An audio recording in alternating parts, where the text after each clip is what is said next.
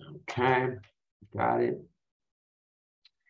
And um, at the start here for our first class, I do want to go through um, this how to study uh, guide with you. Um, the reason I'm doing this, I'm not trying to insult anyone's intelligence about, you know, that you don't know how to study. That's not what's intended here.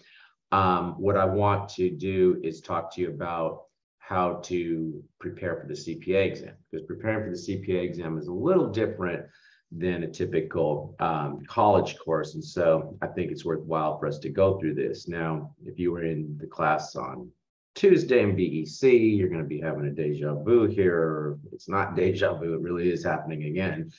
Um, so kind of, you know, hang with me here.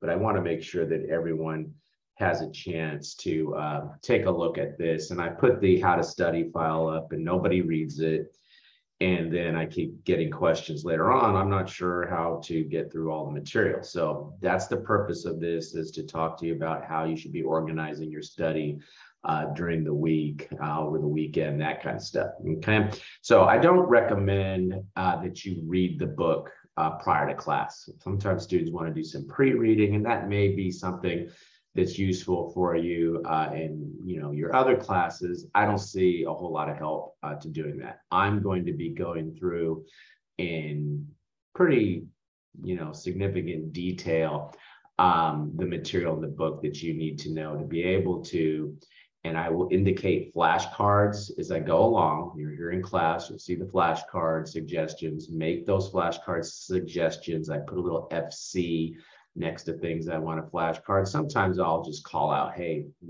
write down this flashcard. Um, but most of the time I'll just put an FC next to the material in the book that I want you to flashcard.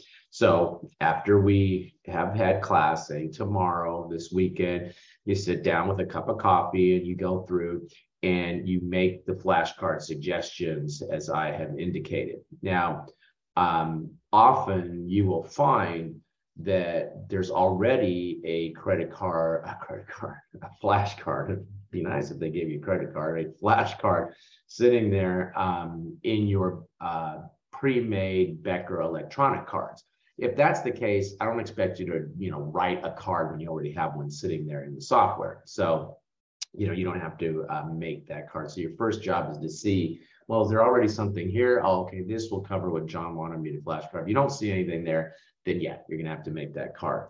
Now I'm thinking for an entire chapter that might take you, or for an entire session that might take you two hours to go through and make the flashcards that I suggest, maybe a little longer. Okay. Once you've made the cards, then you memorize the cards. Memorize them by memorizing, no peeking. Somebody else should be able to hold the cards and ask you the question on the card and you would have to answer it. Okay, so you need to be able to answer that from memory. Remember, minute and a half per question. We are moving through these exam questions. We don't have time to ponder and try to remember. So by using the flashcard, you're setting your synapses in your brain up to what? Thought, what's the answer? Okay, then what?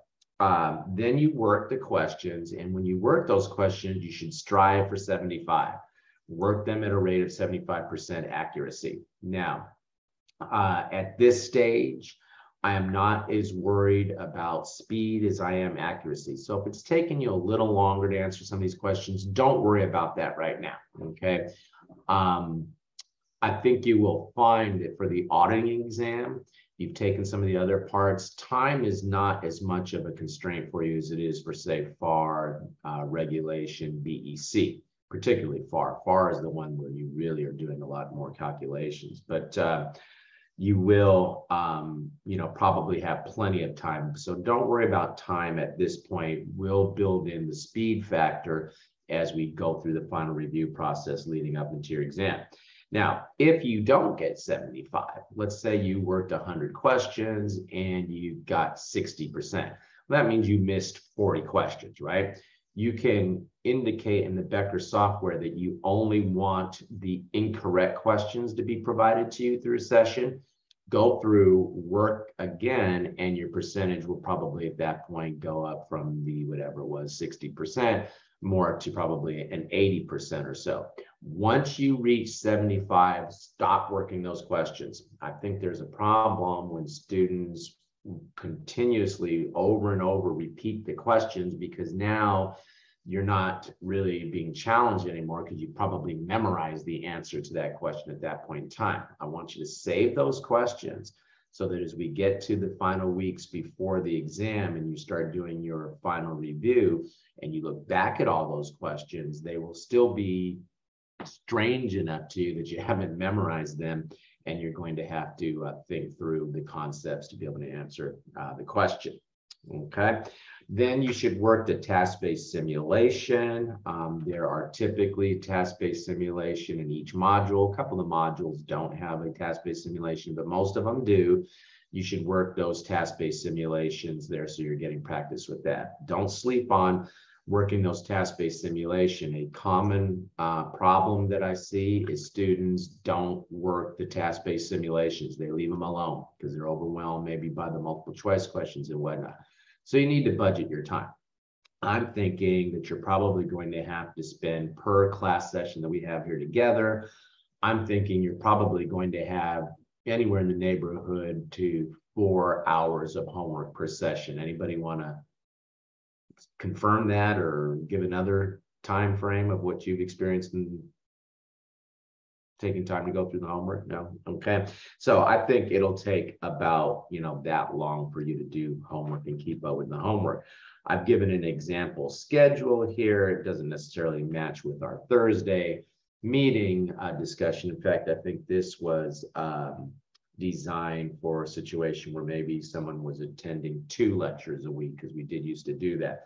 Um, but it does give you a sense as to how you should be structuring your time. And I don't think I give you many breaks in here. Okay. So studying for the CPA exam is different. You really have to start to, um, you know, manage your life around preparing for this exam. You're only going to do this one time. You pass the exam, it's good for life. There's no shelf life on the exam. In fact, they won't let you take it again. If you were to say, I'd like to retake the CPA exam after you pass, they're going to say, no, we think you should find some other priority in life because they don't want someone like me, you know, taking the CPA exam over and over and over again and then sharing with all my, you know, students and whatnot, um, things that I've seen on the exam. They don't want that. So they won't let you take it again after you pass it. So you're only going to do this once enjoy it. Okay. And uh, if you have somebody in your life that, you know, isn't listening to why you have to study, um, go ahead and give them my phone number and I'll have a talk with them. Okay.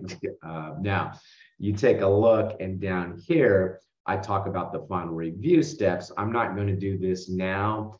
Uh, we will do this uh, as we get closer uh, to the time when you're going to be taking your exam. But this will talk about what you should be doing in a couple weeks from when class ends to when you're actually uh, scheduled to sit for your exam. Okay. Any question? Okay, good. If there's no question on that, then I think we can go ahead and start to take a look at chapter one, okay? And it is recommended that you have your book with you um, or the uh, PDF, or if you have it on a tablet somehow that you can annotate as you go along, that's fine too. Uh, but you should be annotating uh, as we go along. There is no um, need to have your book looking nice and pristine. It should be written all over it. Okay, that's what you're going to be doing here as we go through this. Okay, so let's go ahead and let's start to take a look. And we're going to spend a little bit of time understanding something about professional standards. That's about three points on the exam in terms of multiple choice questions. You might get one or two. However, do know that you are going to have to do a research task-based simulation on your exam, which will require you to do a keyword search and give an answer as to where in the standards uh, the particular question that they're asking would have been answered. So you can't, you're not going to write in the um, the answer to that. You're literally going to have to cite the part of whether it's the AICPA's um, codification of standards whether it's the PCAOB standards, you're going to have to call out and find where that answer is. Okay. Now, when we look at uh, audit engagements, really just some introductory stuff. I'm not going to assign a point value to that. Where we're going to spend most of our time today is talking about um, audit reports. Okay. And audit reports constitute a 10 point area on the exam. So it's kind of interesting and that we're sort of starting here at the end. Okay, we're starting at the end of an engagement where we're sitting here and talking about how do we prepare audit reports? What do we do if the auditor is giving something called an unqualified, unmodified opinion? What happens if the auditor starts to qualify? What if there are important matters that have to be emphasized in the report? Etc. That is 10 points. You've got to know this stuff cold. There's no way to pass the exam without knowing um, the reporting requirements. Okay. Subsequent events we're going to talk about, that's about five points. We're going to see that we will date the audit report as of a specific date but the auditor needs to be careful from the time that they complete their audit work to the issuance of that report, because there could be things that need to be uh, disclosed in the financial statements. And uh, we would want to um, basically be aware of those things called subsequent events. Okay. Other supplementary information, that's really about two points. What we're talking about, uh, other information and supplementary information our audit covers the financial statements, but often GAAP will call out and ask for supplementary information, the financial statements that we're not auditing, or the company may lift the financial statements, and I'm sure you've seen this, and put it in their annual report. Well, when we start having things that are getting close to the financial statements but are not, the auditor does have certain limited responsibilities associated with that information, and we're going to spend a little time understanding that. And then we'll spend a little time understanding what happens if we're issuing a report where they haven't followed US GAAP, they followed some other, um, well, they could have followed US GAAP, but the uh, financial statements are going to be being issued in another country. What would the audit report look like under those circumstances? And that's a fairly light thing. Maybe even zero points might be, uh, you know, a sufficient amount of discussion there, and that uh, it's probably unlikely that you'll see a question. Okay. Okay, good. So that's the lay of the land of where we're going. Um, please don't take this to mean that because I put two or three or five points next to something that you can ignore it. That's not what I mean. I'm just trying to give you a sense as to what you can expect come test day when it comes to the material we're talking as to a heavier versus lighter you need to study everything. The rule is the, and I see this on the uh, Facebook um, Becker groups for FAR. I didn't, didn't join any of the other ones after I started seeing some of the stuff on FAR because I'll see the question on that Facebook group. Uh, what parts uh, can I skip? and then people will start coming out and saying, oh, well, you don't really have to pay attention to, and that's nonsense because everybody's exam is different. Your exam is going to be different than my exam. So even though something wasn't necessarily on my exam, doesn't mean it's not going to be uh, on your exam. The other thing that bothers me about that, and I don't know why they don't shut that down, frankly, um, you're not supposed to talk to non-candidates about what you see on the exam. So don't make the mistake of going on to Facebook and start typing in what you saw on your exam, that's a violation of the agreement that you sign with the AICPA when you take that exam. When I say you sign it, you attest on the computer that you are not going to share that information. So um, be careful with that. Okay. Okay, good. So you come over and we start talking about professional standards. And let's just go ahead and jump down. Well, before we jump down, let's um, understand that we have uh, let me put myself in full screen mode here. okay, we have what? We have issuers.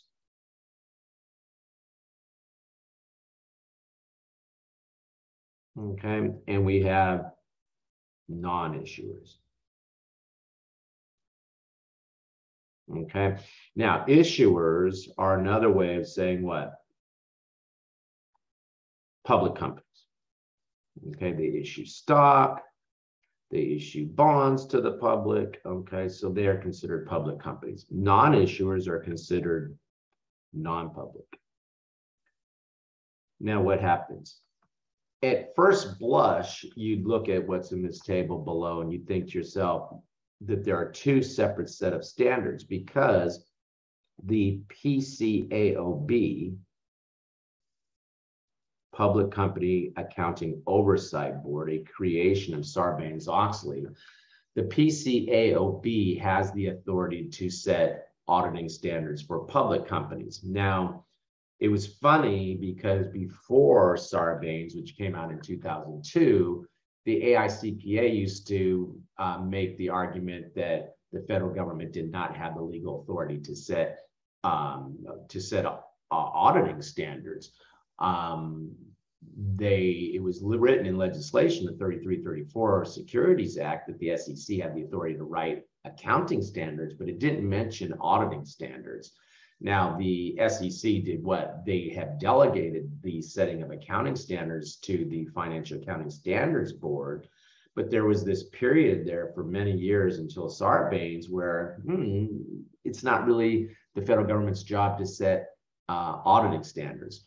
Enron, WorldCom happened, and the federal government said, slap, we're going to have an entity that's going to set the auditing standards as the PCAOB. So what the PCAOB did though, is they pointed to the standards that are issued by the AICPA. So even though PCAOB has the authority to set the auditing standards, or they're recognized as the entity that will set the accounting, um, excuse me, the auditing standards, they point to the AICPA standards to a large extent. Okay. Now, what happens? Um, sometimes the PCAOB will issue standards that are specific to public companies. So when you look at the PCAOB standards, and I've lost count, I last time I looked, I think there were somewhere in the 20s of the number of PCAOB auditing standards are, but there are what? Getting close to, I think, maybe 140, 150 AICPA auditing standards. So every now and then, the PCAOB will weigh in and say, well, for public companies, we want this done. But to a large extent, the standards are the same as what you would see for a non-public company as the PCAOB points over to the AICPA standards for non-public companies. So where there are differences, we'll call those out. Guys, I got to tell you, sometimes I'm annoyed by the differences. I'm like, why can't they get on the same page about this particular thing? For example, why can't they get together and agree as to the look of the report on the audit? that to me seems like a very basic thing that they should be able to figure out. Yet one goes this way, the other goes that way, and we are for as CPAs and as you know CPA candidates stuck having to know the differences between these. Um, another area is the opinion on internal control. An opinion on internal control that I'm sure you've heard about or you've seen in audit reports of public companies is something that's required of public companies Non-public companies do not have to issue an opinion, have their CPA issue an opinion on the internal control. So the PCAOB gives a standard that talks about that, whereas the AICPA standards don't require that. So they're very similar. In fact, in many cases, the PCAOB says just do what the non public company standards are, but from time to time they weigh in with something specific they want. Okay, so that's just a lay of the land, but let's just go ahead and let's take a look here at the actual names of the standards. And for uh, non-issuers, non-public companies, we have statements on auditing standards. You hear that abbreviated SAS. They are codified by topic um, and the codification section is uh, used as AUC, and they are issued by the Auditing Standards Board. That is a board that rests inside of the AICPA. Let me go ahead and write in AICPA here, just so you know that the Auditing Standards Board sits inside of the AICPA. Uh, these are part-time individuals. I think there's about 15 of them. And the reason they're part time is they're actually practicing, uh, they're actual practitioners unlike the FASB, which is a full-time board, that's all they do. The AICPA has looked and they said, no, we want actual practicing auditors to be involved in the setting of the standards. And often you'll see the standard will say you're supposed to do this, but then they give a list of exceptions as to when you wouldn't have to do that. That being the case, uh, because practicing auditors know there's what should be done, but then there's what can be done. And so they often give some exceptions for uh, these sorts of things. So we'll be taking a look at um, some of that. And I think this may be a good time to look right here at this. Uh, oops, that's not the one I wanted though. Right here um, go ahead and make a note of this uh, link. Uh, you know what? I can probably, I'll put this link on, um, I hope I remember to put this link on um, in chapter one on e-learning. I'll just give you the link to this. But I think this is a good thing for you to look at from time to time, okay? Because you can see where they give you the different sections and they're uh, carried out by particular um, parts of the engagement. Okay, so the 200s are in the you know planning phase, okay, or the early um, you know uh, acceptance phase of an audit. Then we start getting in the planning phase. Those are in the 300s. Okay. Then you start getting into uh, evidence. That's in the 400s and the 500s. Okay. What is the evidence? You keep coming down, you get into the 600s. Uh, this is using work of specialists and whatnot. And then when you get into the 700s, where we're going to be spending most of our time here tonight, that's where you get start getting into the reporting standards. So I don't expect you to memorize this, guys, but it doesn't hurt you to take a look at this from time to time. So when you get that research question, you're asking you something about a report, and you do a keyword search, and you're in the 200s, you're in the wrong area code. You need to be looking and saying, wait a minute, somehow my keyword search has gone off the rails here. I need to be getting myself into the 700s. What the heck's going on here, right? Okay, so it doesn't hurt to understand, you know, where these different things lie in the uh, in the standards, in the codification. AUC, uh, AU stands for auditing. C stands for clarified standards. Um, some time back, the AICPA was kind of full of itself a little bit and wanted to say, we want the US CPA to be the world renowned auditing certification. And so we're going to make our standards more in line with the international standards. And that's when they added IFRS to the CPA exam and everything. And I think all of those people, you know, probably you know, spent too much time with paint fumes when they were thinking all that because that never ended up being the case. Um, so they kept the C though there for the what they're calling the clarified standards. That's all that C was. Okay, all right. So let's go back and let's just continue to look at the book here. And we have what? For our issuers, for our public companies, auditors of public companies, are to follow the Public Company Accounting Oversight Board. AS means auditing standards. Now, big thing on your task-based simulation where you have to do research. If they're asking you a question about a public company, you know that the first section there is going to be what? PCAOB you're going to be looking in the PCAOB standard. Point right there just for knowing that for a public company, you should be looking in the PCAOB standards. Okay. Now, when you audit a entity that receives federal financial assistance, or if it is a federal agency, so basically all governments receive federal financial assistance. So it could be state, local government. If you audit the federal government when I was involved in the audit of federal agencies for the years that I worked for the Government Accountability Office, GAO, we followed the GAGAS, Generally Accepted Government Auditing Standards, which again are promulgated by my old office, the GAO. GAO writes the auditing standards, but in many, many cases, the GAO points to the requirements of PCAOB, and in some cases, they point to the requirements of the AICPA. Uh, so, um, but then again, they want certain things done that are specific to government audits, and they call those out. And sometimes they'll call that the yellow book. And uh, if it was worth it, well, why not? Yes, it's worth it to um, show you the yellow book. Why don't kill us, right? Okay, this, where's my camera? This is the yellow book. Why do they call it yellow, do you think? Okay, now, um, in one time they thought that was the gold standard of auditing. And so somebody said, well, let's not get silly. And they just called it the yellow book.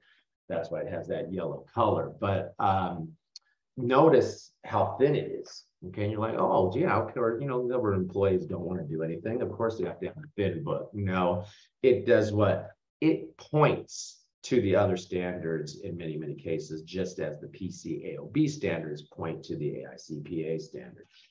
Okay. All right, good. Now you come down and we're going to see that there are other types of attestations that auditors have um, been growing into here over the more uh, recent years. When I say the more recent years, since about the 70s. So what happens? A while back, people looked and said, well, look, um, auditors give an attest, they testify, attestation, they testify. Okay. The reason they call you an auditor is because you are to be heard. And back in the day, before people could read, and it wasn't that long ago that most people did were illiterate back in the 1800s and whatnot. Um, auditors stood in the public square or whatever and audibly said out loud what it was that their findings were. So that's why they called you auditors. You testify. Well, some years back, somebody looked and said, well, why can't auditors also testify to things other than financial statements? Okay, good. Let's put together a set of finance, uh, set of uh, Uh, standards for that, and they call those the attestation standards. Okay. Now, there are other instances where we won't necessarily audit financial statements, but we'll be providing some other level of service. For example, we may simply review statements, which is less in scope than an audit. And if that's the case, then we follow statements on standards for accounting and review services, abbreviated SARS, and those have the AR and the C stands for clarify. We will talk more about this in A6, but this is where we're looking at historical financial statements probably, but we're not giving a full blown positive assurance on these financial statements. And so those fall under another set of standards. Then we have the Code of Professional Conduct, and this talks about what we need to do to maintain our independence and whatnot and they say, well, that governs members of the AICPA's behavior. And so I would used to laugh at that. I think, oh, okay, well, just don't join the AICPA, and then you don't have to follow the ethical standards. Well, unfortunately, the state boards of accountancy, to a large extent, particularly in California, I know they take these uh, AICPA codes of conduct pretty much lock stock and barrel, and then they add certain other things that maybe are specific uh, to the state board's requirements. So you want to keep your license, you better do these things. Okay, so you could see a potential uh, question on something like that. These are these standards that we're getting to here near the bottom of this table, starting with the Code of Professional Conduct, are very uh, if at all, uh, tested. Okay, statements on quality control standards, we'll talk about a little bit later. But this basically says, not tonight, later in the class, but this basically is saying, look, um, if you have a CPA firm, this is how you have to organize that firm to make sure that you are doing quality audits. And when a peer review is done, where a CPA firm of similar size will look at another CPA firm, Big Four will look at Big Four. Uh, even government auditors have uh, peer reviews done. In the case of the GAO, um, where I was an auditor for many years, we would have the um, other auditor auditing organizations of other countries come in and look. I think the Canadians were doing it, the Dutch were doing it for a while, and so on. Okay. Um, but they're looking to see in the peer review. Do you have have you followed the quality control uh, standards and the way you've organized your firm so that you will have audits done of proper quality. Okay, we'll get into that, I think, back in A6. But the, uh, you know, the big ones here I think you're seeing are what are the PCAOB and the um, AICPA's Auditing Standards Board's uh, statements on auditing standards, the SASs. Uh, we get into the yellow book stuff a little bit in A6. Okay, so that's just sort of, um, you know, an idea of how these standards work, okay? And the most, the things that we just looked at are the most authoritative, okay? They're the most authoritative. So it's the what? It's the SAS, it's the PCAOB. If you're auditing an entity that receives federal financial assistance, like the federal government agency, a state, a local government, a not-for-profit that receives federal financial assistance, it's the yellow book and so forth. So those things that we saw are the most authoritative. These other things, interpretive publications, other auditing publications are least authoritative. Okay, most authoritative are the things that we saw up on that table. I'm not going to ask you to flashcard that because that's sort of obvious. Okay, when you read through some of those other things, journals, magazines, interpretations, those are not as authoritative as the standards themselves. Okay. Okay, good. Now you come down and uh, let's go ahead and take a look at our first question for today. And um, if you're new to the class, I put the poll up. Okay, and I give you a couple minutes to go ahead and respond. I'm I'm expecting that if I have 19 people in class today, I should get uh, 18 responses to this question. I don't count myself. Okay, so you should respond. I'll be expecting 18 responses to this question. So I'm too. Oh, feedback. Oh.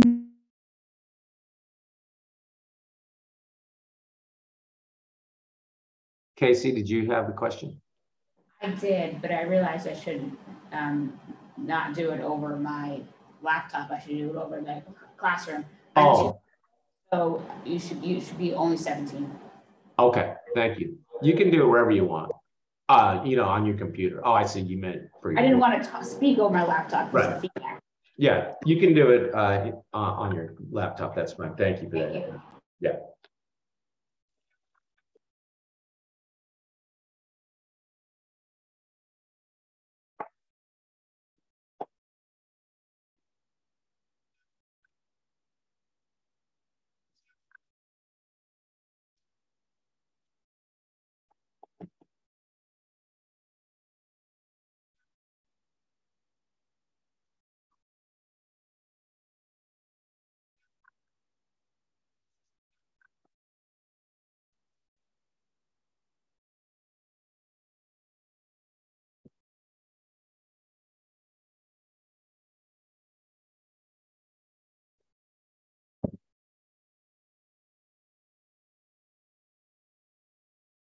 Okay, good. Looks like about everyone had a chance to try this one. And um, so I'm going to go ahead and end the poll.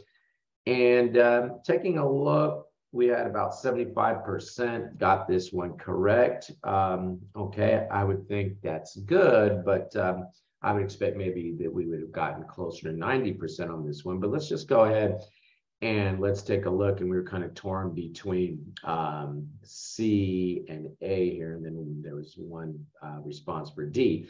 But let's go ahead and let's take a look at this. I need to stop sharing the poll so you can see the screen better.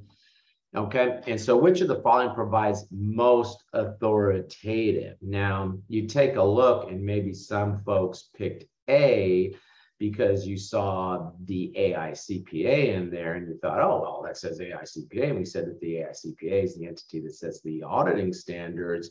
So that would count as the most authoritative. But what happens? Notice they say here what? Guidance. Well, guidance is not the standards. The standards themselves are the most authoritative. So A is not correct. I don't think anybody picked B. I mean, magazine articles could give you some insight, but they are not the most authoritative. general guidance provided by statements on auditing standards, guys. That was those SASs, right? Okay, that's what we talked about. That's the most authoritative. Interpretations, well, they have some authoritative level, but an interpretation of a standard is not as authoritative as the standard itself. Okay. Okay, good. Um, one takeaway from this uh, quickly is um, don't just read the first choice and think you got it. Don't sit there and read the first choice and go, oh, AICPA, oh, let me, you know, get this out of my face. Always read through all of the choices because often, you know, I'll look at a first one and I'll think, oh yeah, that's got to be right. And I'm thinking that's the right answer. And then I read down to the next one and I'm like, well, wait a minute, that looks right also. And it turns out that maybe there was a not in there, which of the following is not something, and I missed that not. And so I think the first one is the correct choice. And I read the second one, I'm like, well, that's right too. What's going on? It puts me back up into the uh, the stem of the question. And I realize, oh, I missed the word not. So make sure you always read through all the other choices, even if you're willing to give your firstborn that the you know first one you see, the A, let's say, is the correct answer. By the way, on the exams, I think you know there is no A, B, C, D. They simply have radio dials, just like the Becker software, uh, next to uh, the question. Also note that every multiple choice question has an identifying number here. And uh, if you want to look up a particular question, um, you can find it in your software by typing in the question number. Uh, also, um, the answers to the class questions that we go together are in the back of the book if you want to revisit those at some point in time. Okay, okay, good. Let's go ahead and let's take a look at our second module now. And this is just a nice picture that gives you the audit process. And um, we're going to start at the bottom today. This is where we'll do A1. And then when we get together next time, then we'll start to go through the different pieces of the audit A2. And I'm not going to index this whole thing to different classes, just to give you a sense that we're starting at the end here. Now, sometimes in questions, it is helpful to know what phase of the audit they're in. So if the question says to you, what sort of preliminary uses the word preliminary in the question well you know that that's not going to be issuing audit report if you're doing things preliminary that's going to be something that we've talked about what maybe in the acceptance phase or maybe in the early planning stages right so sometimes you can help yourself to answer a question as to what the procedure is by understanding where in the audit they're thinking you are. Okay. Okay, good. Now you come over and you take a look and let's talk about independence. Okay. And the purpose of the audit is to provide statement users with an opinion on whether the financial statements present fairly in all material respects that the entity management prepared the financial statements in accordance with the applicable framework. In many, many cases, we'll just say US GAAP, the standards established by FASB. So what happens? Management is responsible for the financial statements. The auditor does what? The auditor is responsible for what? The opinion on those financial statements prepared by management. Okay. And when we look at the report, it starts to get a little annoying in that they keep saying over and over again management is responsible for the financial statements. But the reason they get to be a little annoying like that is there was a time where people thought auditors prepared the financial statements. No, management prepares them. The auditor gives what a independent opinion on those financial statements. So we have to be what? Independent both in appearance and in fact. Okay, so uh, uh, in fact means that what? I cannot have a direct investment in any audit client. Okay, appearance is where we start getting into what? No matter how small, I can't have a direct investment in an audit client. So I may have a one share of stock that's worth a dollar, that would impair my independence because of the appearance, right? So I'm like, you're not going to throw, you know, throw your whole practice away over one dollar of stock. Doesn't matter. It's the appearance that that creates. So we have to be independent in both in appearance and uh, in fact. Okay. Now we come over and the audit report, because we are independent, gives credibility to the financial statements. The idea is that I tell my introductory students when we start talking about audit reports and that I tell them it's a prayer. It's please God, don't let anything go wrong. Please let this whole system work. That's all it is. All of this is a prayer that something won't go wrong. And every now and then, what those prayers aren't answered, right? Just like a lot of prayers. Okay. I go to night, go to bed every night and pray that my hair will grow back. Well, sometimes it just doesn't, things just don't happen. I don't really, but okay, let's just let her say that. Okay.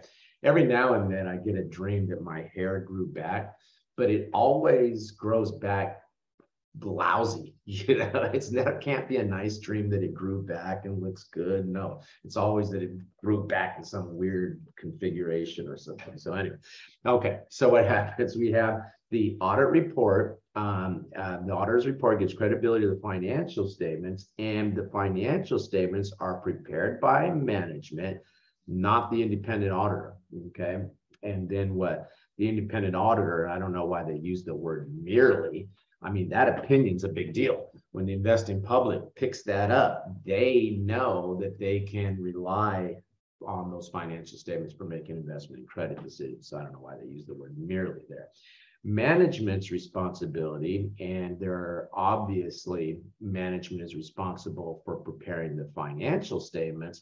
They are also, however, called out to be responsible for the implementation and uh, maintenance of internal controls that will help assure reliability in financial uh, reporting. Okay, so they have that responsibility as well. The auditor does what? The auditor understands the internal controls as part of the planning of the engagement so that they can determine the timing, extent, and nature of further audit procedures. Okay, so the auditor understands the controls, and based on that understanding, they then give an attestation as to management's assertions about the effectiveness of internal control for public companies. For public companies, they do that. Non-public, a non-public company could engage an auditor to do that, but it is not a requirement. And very few public companies probably bother to engage auditors to do that kind of work. Okay, so management's responsible for the controls. Management's responsible for the financial statements. The auditors do what? They attest, they testify, they give an opinion as to whether the financial statements are fairly stated and as to whether or not management's assertions about the effectiveness of the internal control are fairly stated. Okay, okay, good. Now you come over and um, coming down, and let's take a look at impediments to acting with, oh, well, maybe I should go ahead and show you this idea of professional skepticism first, before I get into how professional skepticism could be impaired, okay? So professional skepticism says that auditors should be alert for contradictions of evidence, okay? Information called into question the reliability of documents. Hmm, how come it took you so long to get me this document? How come it looks like this thing was just printed off of a website or something like that, right? Conditions that indicate possible fraud. We'll talk about that in A3, okay? Um, circumstances that we may need further audit procedures, okay? All of these things constitute professional skepticism. Um, what I used to tell newer auditors when I was with the GAO, if something doesn't make sense, something's wrong. If it doesn't make sense to you, something's wrong. It could be something's wrong with you. okay, maybe you just don't understand what the you know subject matter is, and you're going to have to you know get beef up on that.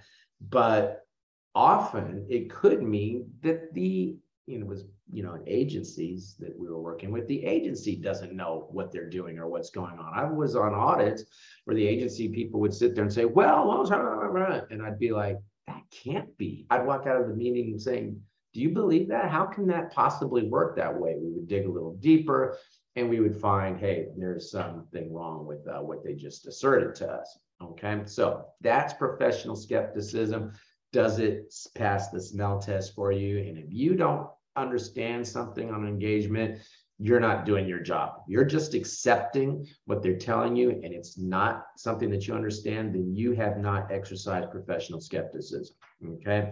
Now, there are sort of invisible impediments to acting with professional skepticism. And they really have more to do with psychology and human nature than any sort of, you know, accounting or auditing discipline. Okay. So unconscious human bias, okay, that favors the interest of the client over the interest of the investor. What happens? You're not seeing those investors.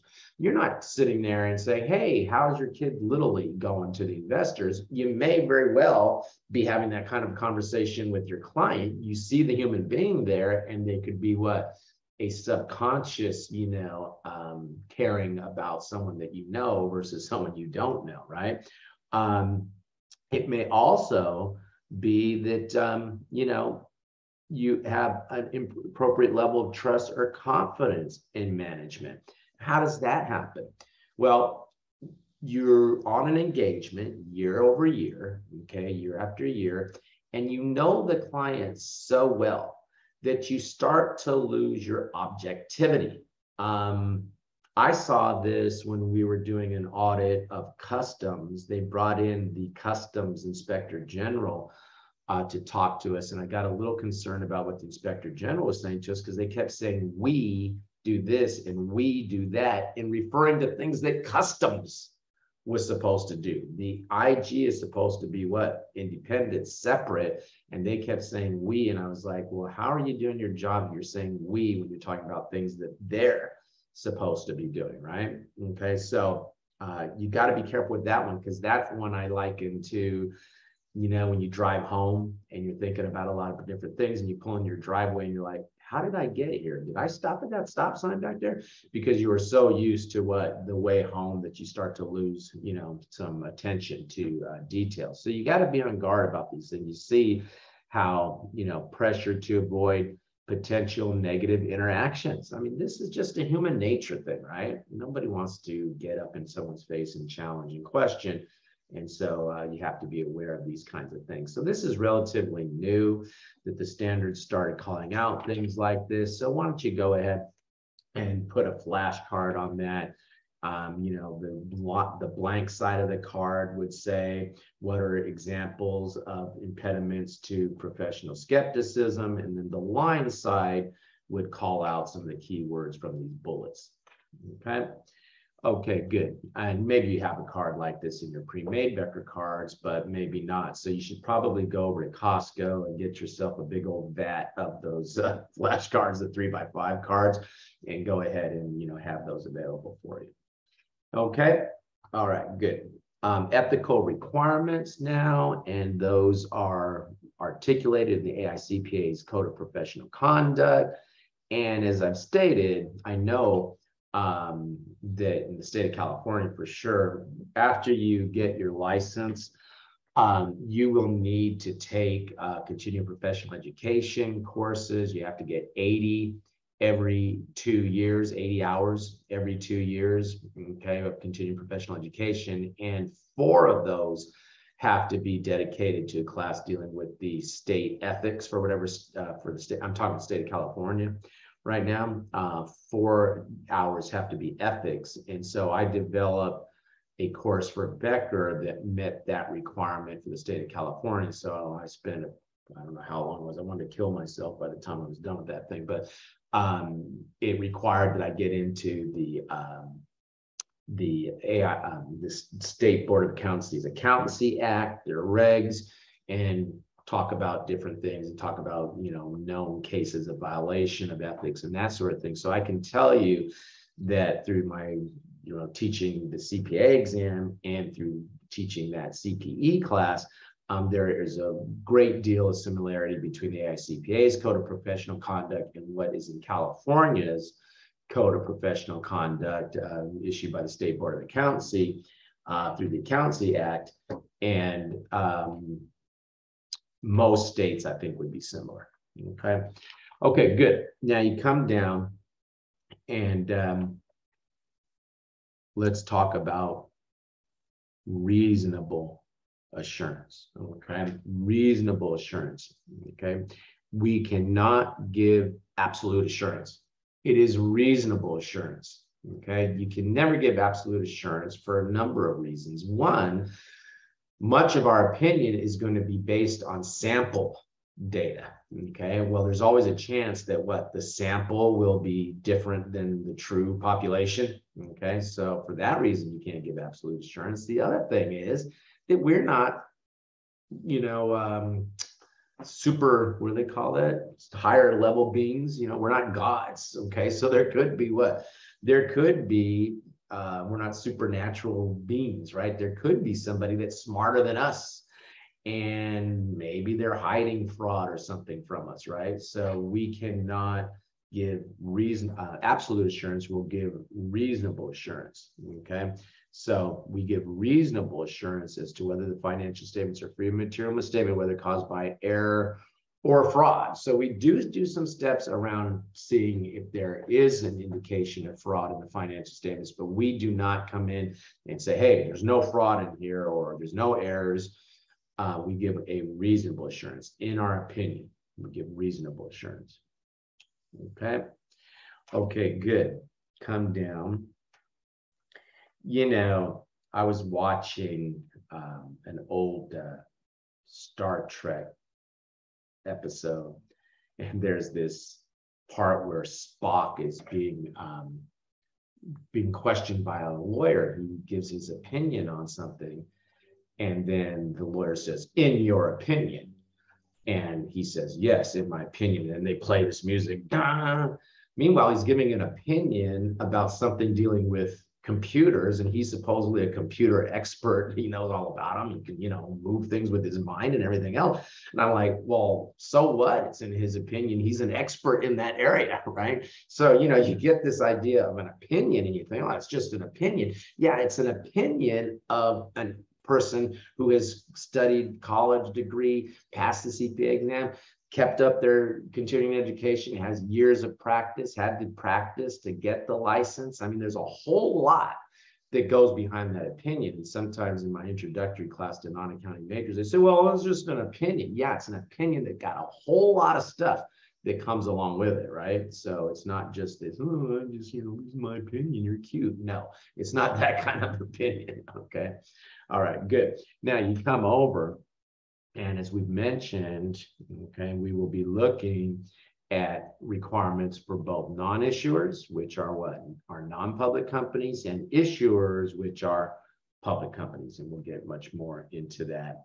Um, and the key thing is that what we have to actually give an opinion on the internal control along with our opinion on the financial statements. And that's a big distinction between public and non-public companies. You know, I get a little annoyed that the federal government does not require federal agencies to get an opinion on their internal control. Now think about how annoying that is in that the federal statute, the Sarbanes-Oxley Act, right, says in section 404 that public companies have to get an opinion on their internal control. Meanwhile, they don't require that of themselves, the federal government. So when you issue a uh, audit report, when you've audited a federal agency or when the consolidated financial statements of the federal government are issued with the um, disclaimer of opinion on the financial statements, there's nothing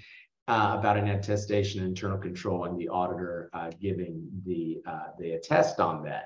State and local governments don't have an attestation on their internal controls. So I find it a little annoying that here's public funds, yet we don't have a set of, there are a set of requirements for internal control, but nobody audits that to see if an entity is in compliance with those uh, requirements and internal control of financial reporting, which I find a little annoying. Okay, good. Let's come over and let's take a look at, um, and I think the reason is that they don't have the courage to go ahead and do that because think about it. Think of the headlines. Federal government weaknesses in their internal control are blah, blah, blah, blah, blah, blah, blah. Okay. So I think they get a little nervous about having to, you know, go through that hill because then what? They'd have to fix it, right? Okay. So it's easier not to talk about it. Okay, let's take a look at the objectives of the financial statement audit. And it is to do what? It is to provide reasonable assurance about whether the financial statements are free of material misstatement, whether due to error or fraud. So obviously what reasonable assurance key phrase there and what material misstatement. A material misstatement is a misstatement that would change the decision of a user of the financial statements. It can be quantitative, which I think is what we tend to think of, but it could also be qualitative. So you sit there and you say, if I had known the financial statements were misstated by $25 million, I would have never bought that stock. So it changed your decision. The dollar amount was material enough to change your decision. If I had known the financial statements were misstated by $25,000 because of management fraud, I would have bought that stock. Well, now it's the qualitative aspects more than the quantitative aspects. Okay, that's what we mean when we start talking about material misstatement. Okay, okay, good. Come over.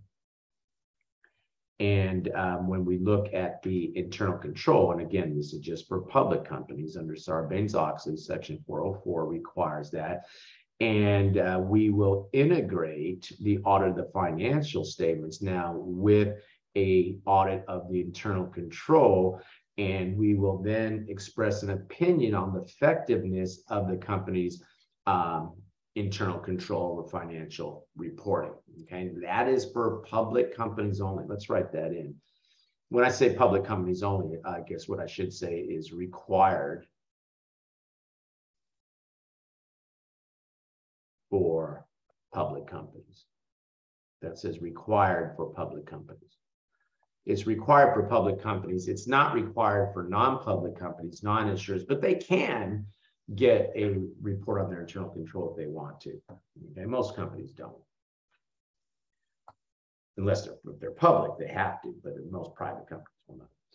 Okay, all right, good. Let's take a look at this question. And, you know, I realized I forgot to say something. Uh, when we're exercising professional skepticism, if you look back at what we said we were doing, let's go back. Let's go back. I want you to write it over there. Michael, where were we talking about professional skepticism? Do you know what page? Page nine, oh, right here. Page nine. Okay, good. Uh, professional skepticism. If you look at these things that they're talking about here, essentially what they're doing is they're evaluating evidence. They're really evaluating the veracity of evidence here documents that look funny, information that calls into question, conditions that indicate possible fraud, circumstances that need for additional audit procedure, audit evidence that contradicts other audit evidence. It's all about evaluating the veracity of the evidence. Okay. And uh, the longer you're in this profession, the sharper this gets. You just start to know after a while, there is no way that this is working. This is something wrong with this. Um, I was on an engagement one time where we were talking to um, the director of the San Francisco Housing Authority. We were looking at HUD, and he never opened his eyes while he talked to us. He talked to us with his eyes closed the whole time. And I walked out, I was like, Did you notice while he was explaining stuff to us, he had his eyes closed? to me, is an indication that someone's not being truthful and then you know was got into all kinds of scandal a few years later for some things that he was doing. Either you know you start to develop that sense after a while when you're dealing with different um, audit clients and that sort of stuff. So but it's evaluating the veracity of evidence and evidence can be what testimonial evidence as well. So sometimes you're looking at you know facial expression body language and stuff for those kinds of things. Okay? All right good. So let's just go ahead now and with that as an understanding as to what they're talking about with professional skepticism, let's take a look at this question.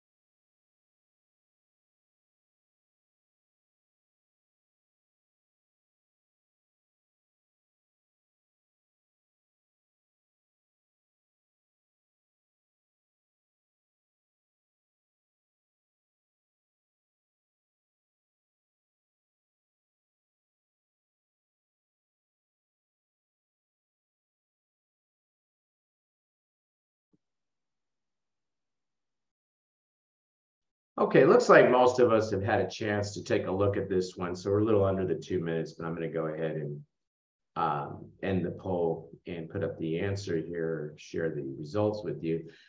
And the answer here is C. Okay, now this is kind of hard question.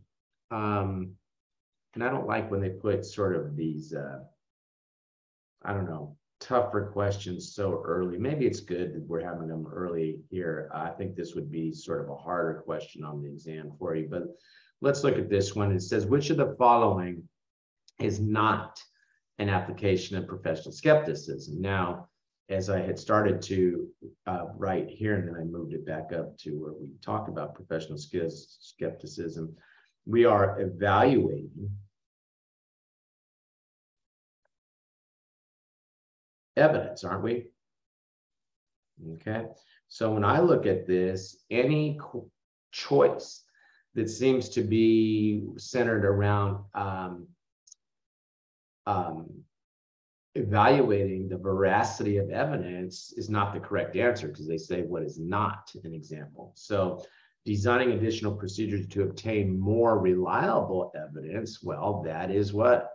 That is something that is around professional skepticism. I don't like the information they gave me. I want something that is more uh, going to be more reliable for me obtaining cooperation of management's explanation through consultation with a specialist. Again, as I had said, what testimonial evidence that the client gives you is evidence, but you will, will almost always corroborate that with what? With something else, a document or a discussion of a specialist or something. But you're evaluating that testimony that they gave you, uh, management's explanations or testimony to you. They're not under oath in most cases, but you know they still are attesting to you something, and um, their testimonial evidence is considered evidence, and you almost always corroborate that with something else.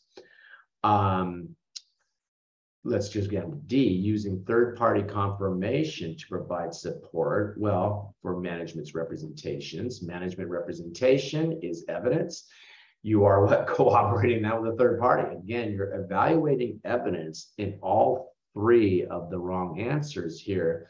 Acquiring or prior year engagement personnel regarding their assessment of management's honesty and integrity. This is something you're required to do in an audit, but it is not an evaluation of evidence. It is what? It is an acceptance step. When you accept the client to begin with, you maybe do this, but that is not an evaluation of uh, evidence, and therefore it is the correct answer. It does not have to do with professional skepticism.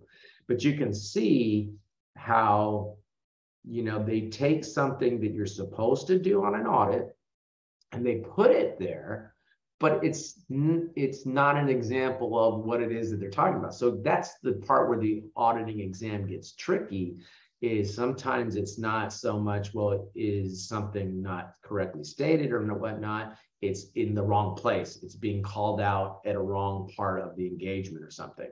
Okay, that part is an acceptance step, which is down the road. Remember when I showed you the standards and we came down and the evidence stuff was what in the, what was it in the 500s? Whereas the um, acceptance step was way up there in the 200s. Okay. Okay, good. You come over and you take a look. Any question on that one? Okay, that's kind of a tough question. Okay, you come over and let's take a look now at where we're going to spend the remainder of our time tonight, which is talking about the opinion on the financial statements. Okay, now and I come over and I just like to go to this graphic. Okay, I call this the grapefruit. Okay, because it's got these different colors here and uh, looks like a grapefruit, right? Okay, now you come over and we have the different uh, types of opinions that could be given.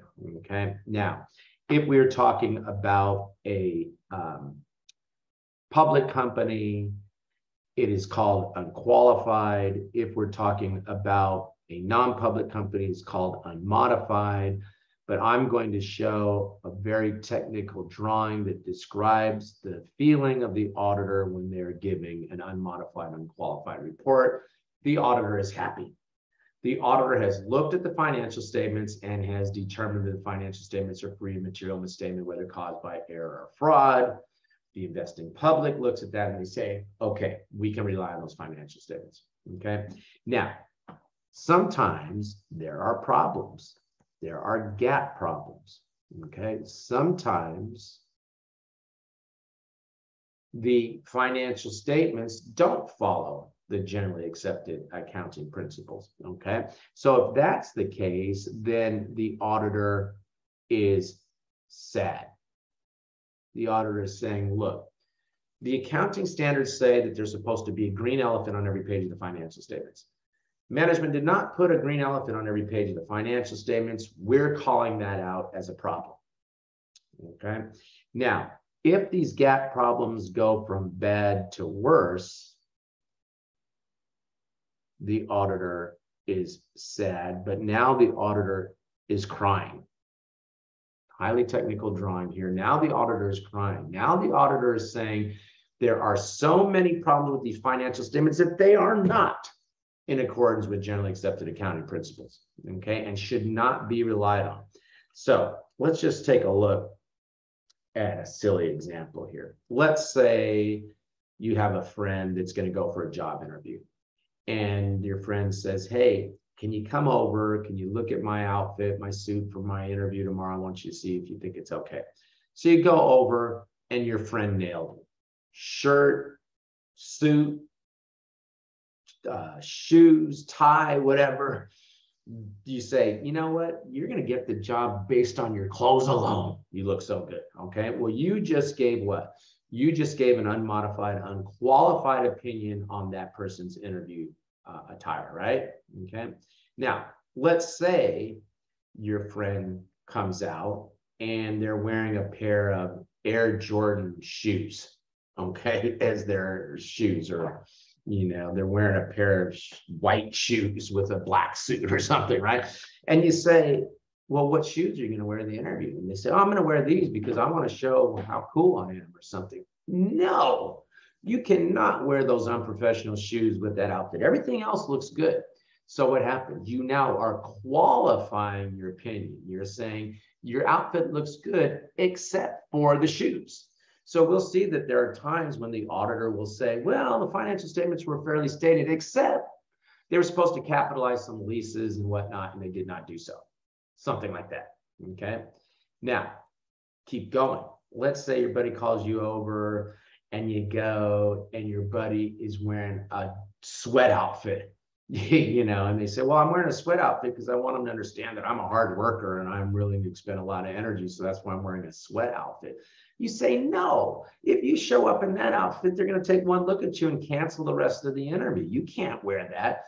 You now have given what? An adverse opinion. You're saying there are so many things wrong with these financial statements that you should not rely on them. They did this wrong, they did that wrong. Could be several things that they did wrong, or it could be what? One big thing that they did wrong. Okay, so as we go down this continuum from green in the grapefruit to red, the problem gets what? More and more pervasive, more and more deeply rooted in whatever uh, subject matter the opinion was trying to cover.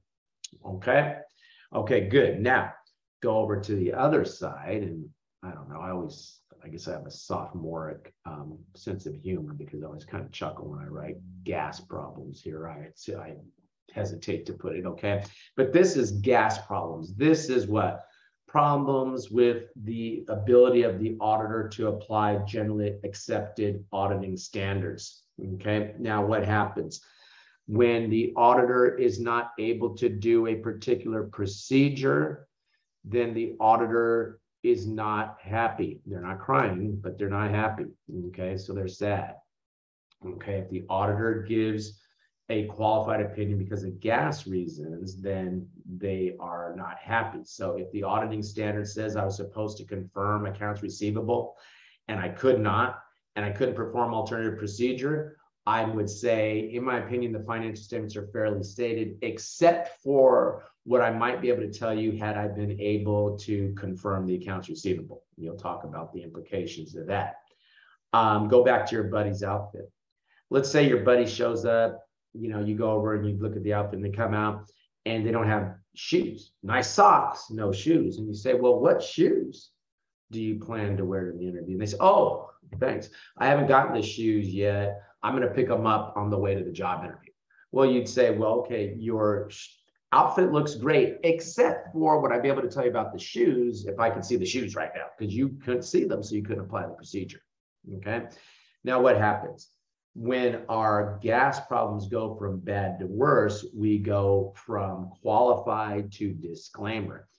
Now, when I draw the face, okay, I'm not going to put a mouth on this face. I'm not going to put a mouth on this face, okay? Because the auditor really isn't saying anything here. The auditor is saying, I don't know. I can't tell you if these financial statements are fairly stated because there were so many audit procedures that I couldn't perform. I'm going to have to disclaim an opinion. I'm not going to give an opinion. Think about your buddy again. You um, get a call from your buddy and he says, Hey, I want you to come over and look at my suit. And you say, Okay, I'll be, I want you to tell me what you think of my suit for my job interview. You say, Okay, I'll be right there. He says, No, no, no, no. You don't have to come over. From the sound of my voice, this question, this uh, story loses relevance now because everyone has a video phone now, but whatever. From the sound of my voice, just tell me how my suit looks. And you say, I can't, I can't tell you from the sound of your voice. I disclaim an opinion because I can't see the suit. There are too many things I can't do. Now, disclaimer of opinion is what the Government Accountability Office, GAO, gives as an opinion on the consolidated financial statements of the federal government every year. I was involved in the first year audit in 1997. What year is this now? 2022. They still are issuing a disclaimer of an opinion on the consolidated uh, financial statements of the federal government. Why? How many years is that? Um, now, your patriotic heart will say, well, because there's secret information. Nobody can get an audit of the Department of Defense financial statements. Why not? What do you think? Why no one can audit the consolidated financial statements of the federal government? They throw all their their equipment away or leave it in Afghanistan Good. Donald, that's one of the few times that I've gotten that answer. Usually people say, well, national security secrets. Well, no, because you can get something called a top secret, a Q clearance is what they call it, uh, where you can look at national security information. And if you're Trump, you can even bring it to your house and show it to all your friends. Okay. But what happens? You are not supposed to, some people aren't supposed to look at that, but you can get the clearance necessary to allow you to look at that. Right. So what happens though? They're the Department of Defense is good at blowing other people's stuff up, but they're not good at keeping track of their own stuff, right? And so as a result, the GAO, just um, not the GAO, I think it's KPMG that audits the Department of Defense. They disclaim an opinion on the Department of Defense's financial statements. And because the Department of Defense is, is such a large agency, a large subsidiary of the consolidated, for that reason, a uh, uh, disclaimer of opinion on a subsidiary often bubbles up into what a disclaimer on the consolidated financial statements. Okay. The other reason the GAO has to disclaim an opinion every year on the federal government's financial statements is that the balance sheet doesn't balance. There's a about $4 trillion plug that has to be put on the financial statements every year to make it balance. And the reason is that there are 32 different agencies that constitute the consolidated financial statements of the federal government. And what happens is each of those agencies has their own system for issuing their financial statements. Then there's a separate system that does what? That tries to put together the consolidation and then they try to get the two to match. Guess what? It doesn't work because that's not how you do a consolidation. You do consolidation what? From the bottom up, don't you? They have two separate systems and then they try to reconcile them and they can't figure it out every year. And so for that reason, you got a four trillion dollar plug. Yeah, I think that's pervasive, a big enough problem to constitute a disclaimer of opinion on the financial statements. So those are the kinds of things, huge things that lead you uh, to a disclaimer. Okay. Now, what we're going to be looking at now that we understand the nature of these, we're going to be looking, it's really focusing on how we will go from a happy, unmodified for non-public company, unqualified for a public company report, and how we will take that report and adjust it, modify it accordingly when we have what? When we have these other issues that are coming in because of, uh, uh, you know, GAAP and GAAS problems.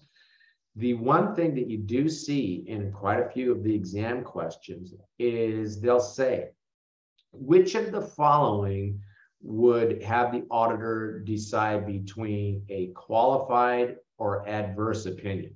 The answer is going to be what? A GAAP problem. If it's a GAAS problem, then what? The decision is between qualified or disclaimer, or they'll describe a GAAP problem. The entity did not capitalize certain leases that should have been capitalized. What kind of opinion should the auditor give? And the correct choice will be the decision between qualified or adverse, not qualified or disclaimer. Okay, so it's worth understanding when we're on GAAS issue versus GAAP issues. And as we go from, you know, problems, we start encountering problems, how the language you use, it's qualified for both of them. But then as the problems get more pervasive for GAAP problems, it goes from qualified to adverse. For GAAS problems, it goes from qualified to disclaimer. Okay. Okay, good. So I'm looking at our time here and I'm going to go ahead and jump in with the break right now. I, well, in a second, because uh, let's just go ahead and look. The unmodified, unqualified opinion, okay, is when the auditor says that the financial statements are free in all material respects, okay, free of uh, error, uh, whether uh, errors and uh, misstatements, I should say.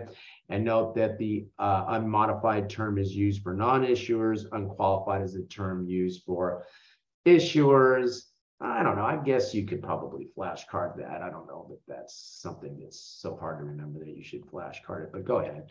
And then the types of opinions now, just going over to the next page, taking a look, we have what? We saw we have qualified that re relates to both GAAS and GAAP problems adverse relates to GAAP problems disclaimer of opinion uh, comes up with the GAAS problems only.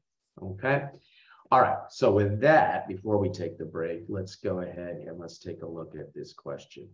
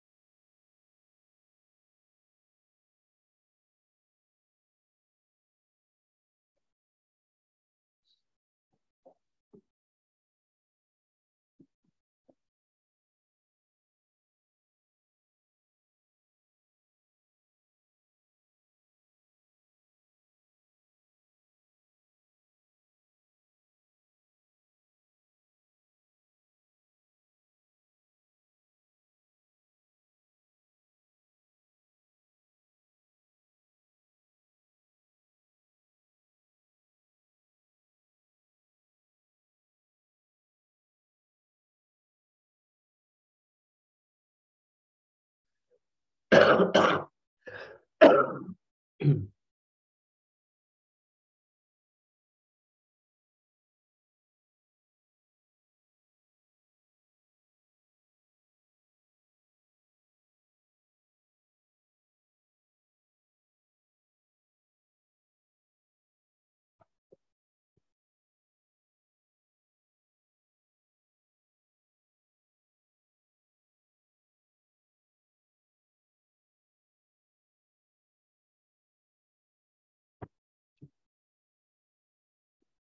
Okay, guys, let's go ahead And let's take a look at this and um, it looks like most of us got this right. I would have hoped for a higher batting average than 75 on this one. So um, when you look at this, are you guys reading the question?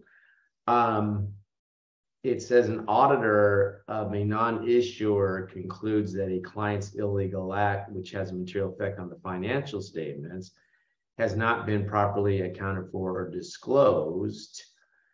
And what kind of opinion should we give? And I got somebody picking D. And I'm thinking, what would make you think that it would be unmodified if it's calling out a problem? As we start to have problems, as the auditor starts to get sad, we start moving to the continuum of qualified. And depending on whether it's a GAAP problem or a GAAS problem, it'll be adverse for GAAP and uh, disclaimer for, um, you know, for uh, GAAS problems. When you look at A, which I think two people picked A, adverse opinion or disclaimer opinion is not even in the right ballpark because there is no decision between adverse or disclaimer. They're on the opposite ends of the situation here. Okay, disclaimers for GAAS problems, adverse is for GAAP problems. So the auditor is really never weighing, should I give a disclaimer? Should I give an adverse? With an adverse, you know what the problem is. With a disclaimer, you don't know what the problem is. So there's no way A would be correct. I'm not sure why a couple of us picked that one. Please don't pick the first choice just to get the pull out of your face, because um, I'm going to start calling on you folks if that keeps happening. Looking at item uh, C, disclaimer of an opinion or an unmodified opinion with an emphasis of matter. Again, how can we pick an unmodified opinion when they're calling out problems? So even if you didn't understand that this was a GAAP uh, problem, okay, which is what they're talking about, something's not being properly accounted for, that is language just pointing to you that it's a GAAP problem. You still should have been able to get the answer just by understanding that little grapefruit chart. Okay. Okay, good let's go ahead then and we will take the break at this time and um, I'm going to go ahead and put us at uh, I guess 645 we'll go a little longer uh, so that we get the full 10 minutes a little plus here and uh, we will pick up with module four okay? I'm going to pause the recording. Somebody please remind me to um, start it again when we come back Okay, I'm going to go ahead and resume the recording and um, let's go ahead and take a look at module uh, four. And uh, as we were going to the break, uh, Bang had asked, you know, what's the difference with the public versus the unpublic, uh, non-public companies? And when we look at the, and they often call it the clean opinion, sometimes you'll see that terminology. Clean opinion means that the auditor is what? Is happy. When they say cleanliness is happiness, right? The clean opinion means the auditor is happy. And then if it's called what? Unmodified, then we are talking about a non public company. If it's a what public company, it's called unqualified. And sometimes uh, students have a little trouble getting used to that. Well, unqualified, when they tell you you're unqualified for something, that's usually bad, right? But in the case of the uh, opinion, unqualified is good because we're saying unqualified. I'm not going to give you any excuses. The financial statements are free material statement. Of course, it's a reasonable assurance. Now, Bang, when you ask me, you know, um, it, what's the difference? Um, that word is different, but the structure of the report is also going to be different depending on whether it's a public or non-public company. So we're going to have to go through the pain of understanding how the report looks different, even though in both cases the auditor is happy, it's a clean opinion. In one case, we call it unmodified. The other case, we call it unqualified. Um, this is what I was talking about. To me, this is annoying because why can't the Auditing Standards Board, the ASB, and the PCAOB, you know, throw them in a room, let them get together and figure out what the report should look like and stop bothering us with these differences. Okay, but unfortunately, um, you know, they're not doing that. So we have to understand how both the public and non-public, both the issuer and non-issuer reports look like. We're going to start with the non-issuer. Okay. Now they go ahead and they give us this uh, table here. And um, what I'm going to ask you to do right at the start here is to flashcard just this column, the structure of the report. Okay, again, this is for the unmodified report, which is what we call it for public companies. Okay, I mean, excuse me, for non-public companies. And first we have the un the auditor's opinion. That's an unmodified opinion. Then we have the basis for the opinion. Okay, so I want you to put that on the flashcard. Second is the basis. This is the structure. Okay. Then you don't have to put that next one on the flashcard because we're going to talk about going concern uh, issues and they're not always relevant. So I don't want you to put that on the flashcard. I just want to talk about the standard clean opinion without some of these things that they're calling in on this table. So you don't have to put that second, that third one on the flashcard, first one, the second one. Then, um, and you don't have to put that key matters, okay, because that's not always the case. And we'll talk about key matters here a little bit later. But actually, you know what? Put the key matters there. Go ahead you can put that on the flashcard. The key matters. Okay, you can put that there. Number three. Then number four, this is in the order of how it will appear in the report, will be management's responsibilities. Then there'll be, and these are pretty much aligned with paragraphs in the report or sections of the report, I should say. Fifth section will be the auditor's responsibility, right? Management's responsible for the financial statements and the internal control. Auditor's responsible for the opinion, okay? And then um, you can continue the flashcard number six, signature of the auditor, and um, seven, date of the report. Okay that's just intended to give you, you don't have to put this whole blah, blah, blah on the flashcard, just those key headings, okay, are the ones that I want you, because, you know, you want to know the order that these things appear, okay? Now, you come over, and the reason I'm not really getting too much off into that detail is we are actually going to make flashcards of the entire report. Okay, so what you probably would want to do, assuming there aren't any flashcards in your set that do this, is have a, a flashcard for each of these major sections, major headings. Okay, so what you'll do is the opinion, and you're going to word for word memorize what goes into that opinion. Sorry, guys. Let's see if this thing will let me box this off or it's going to find me. Okay, so you're going to make a flashcard of that opinion paragraph. So we start with the opinion. We come right out of the gate telling us what our conclusions are. In our opinion, the financial statements are what? Free of material misstatement. Okay, and we call out the years that were involved and we call out the different financial statements. The balance sheet which they're calling statement of financial position statement of operations is the income statement and so on okay?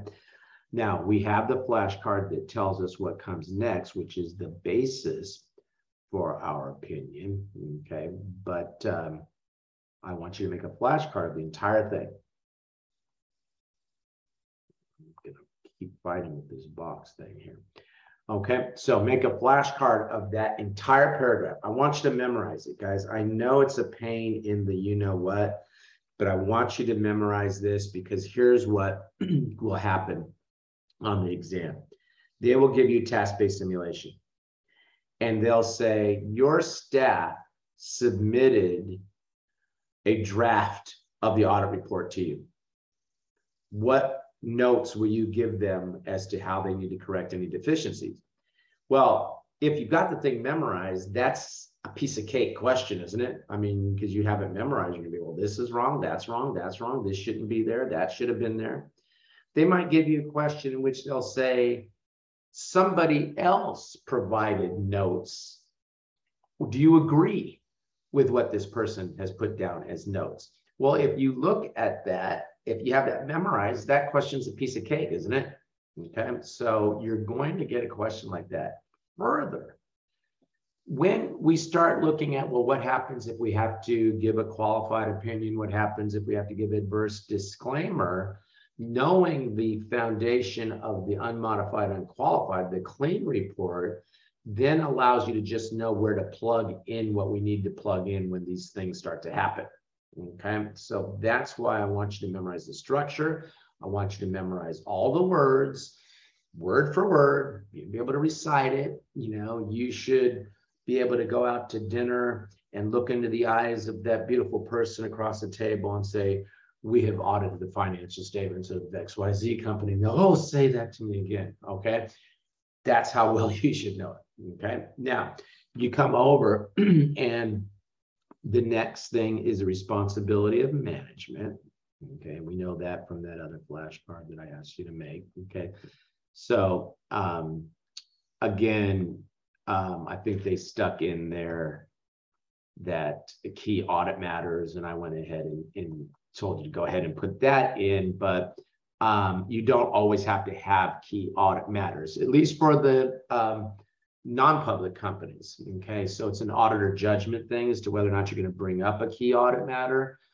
Um, so it may or may not be there. The reason I had you include it though is that because public companies, you must call out a critical audit matter. I think the trend is probably towards having that in non-public companies reports as well. So that's why I want you to put that there, but it is not always going to be in the non-public company report where it will always be in the public company audit report, although they call it critical audit matters over there. Okay, then coming back, flashcard for the detail of the auditor's responsibility. Okay, give me that whole paragraph flashcard.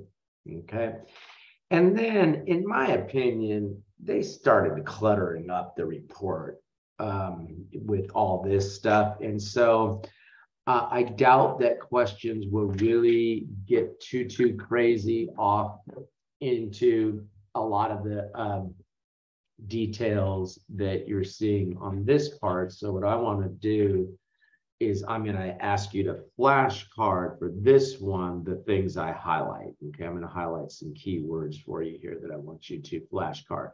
So in performing the audit in accordance with GAAS, we exercise professional judgment, identified the at and assess the risk of material misstatement. Okay, we obtain an understanding of internal control in order to design audit procedures uh, but not to express an opinion on the internal control. So no opinion is expressed. That would be different for a public company, right? But for non-public company, uh, we need to make sure that people understand, hey, we're not giving an opinion on the internal control here, okay? Conclude whether or not judgments, um, um, conclude whether in our judgment there are conditions or events considered in the aggregate that raise substantial doubt about the entity's ability to continue as a going concern. And if you had that concern, then you would have to put that up as one of the elements. But um, you make that conclusion if you don't have concern that they're going to go out of business, you don't have to uh, provide the going concern paragraph, but you have to say that you considered that. Okay. And then um, that you communicated with those charged with governance, um, put that in there. Um, other information, okay, put um, that um, our opinion on the financial statements does not cover the other information, okay?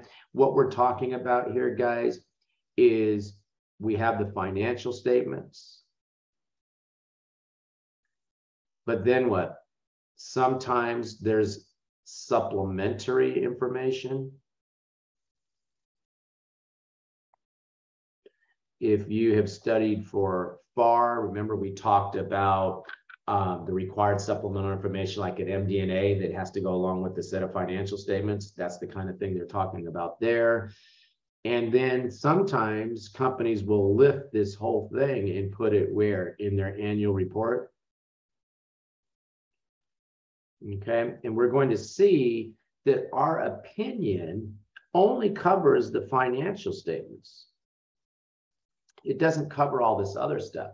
But and, and, so we want folks to understand that when we give an opinion, even though you may see our opinion in the middle of this other stuff, our opinion does not extend to this other stuff.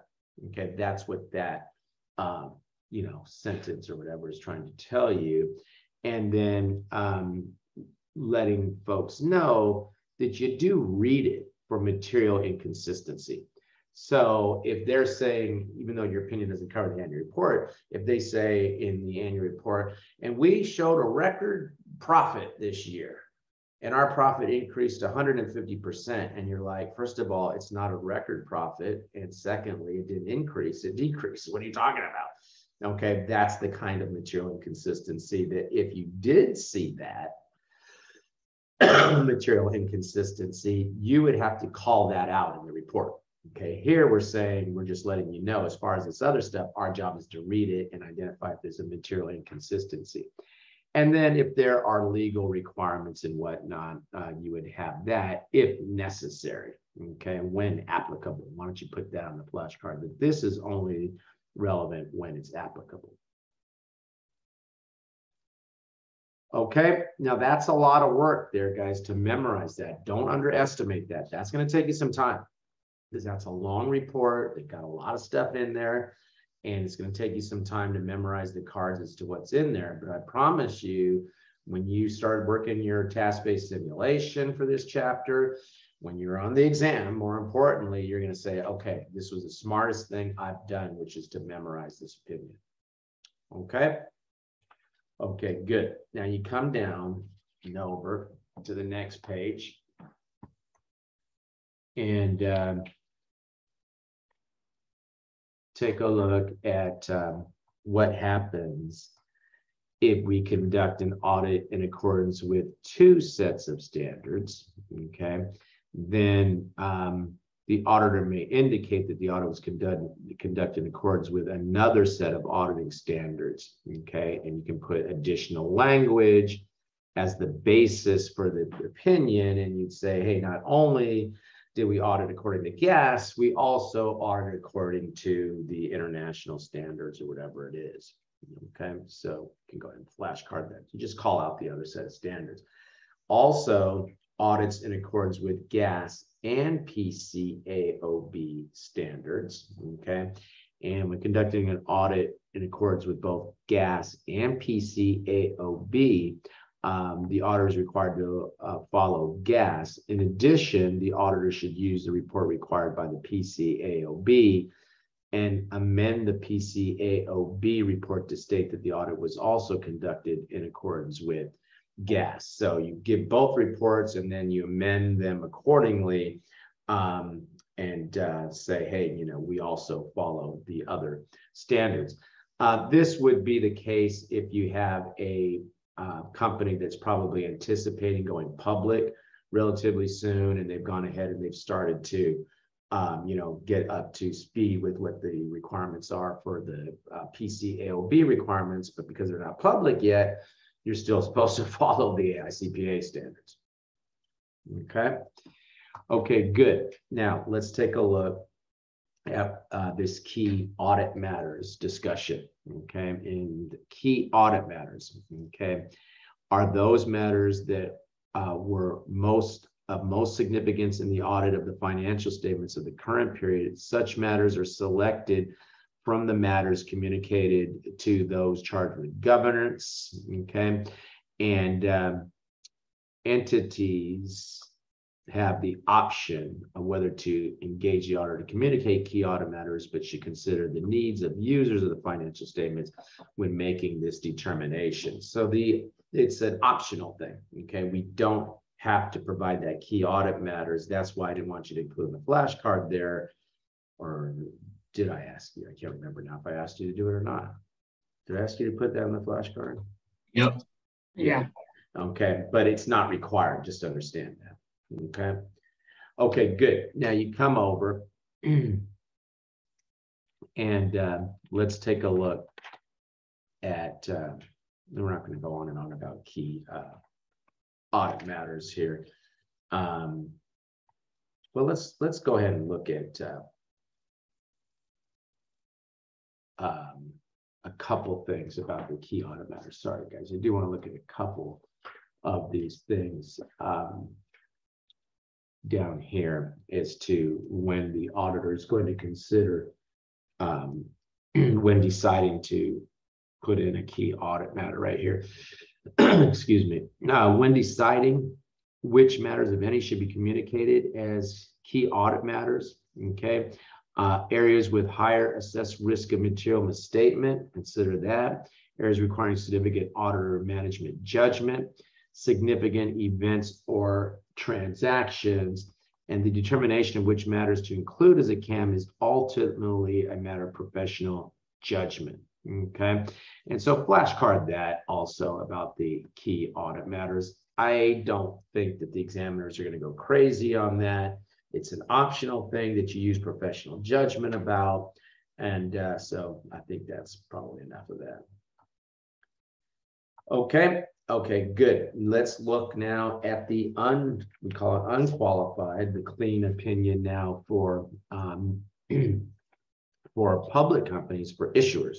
Okay, and again, I'm going to take the same approach, which is to ask you to flashcard at a high level the sections. Okay, so you'll have the title, you'll have the addressee, you have the what opinion section.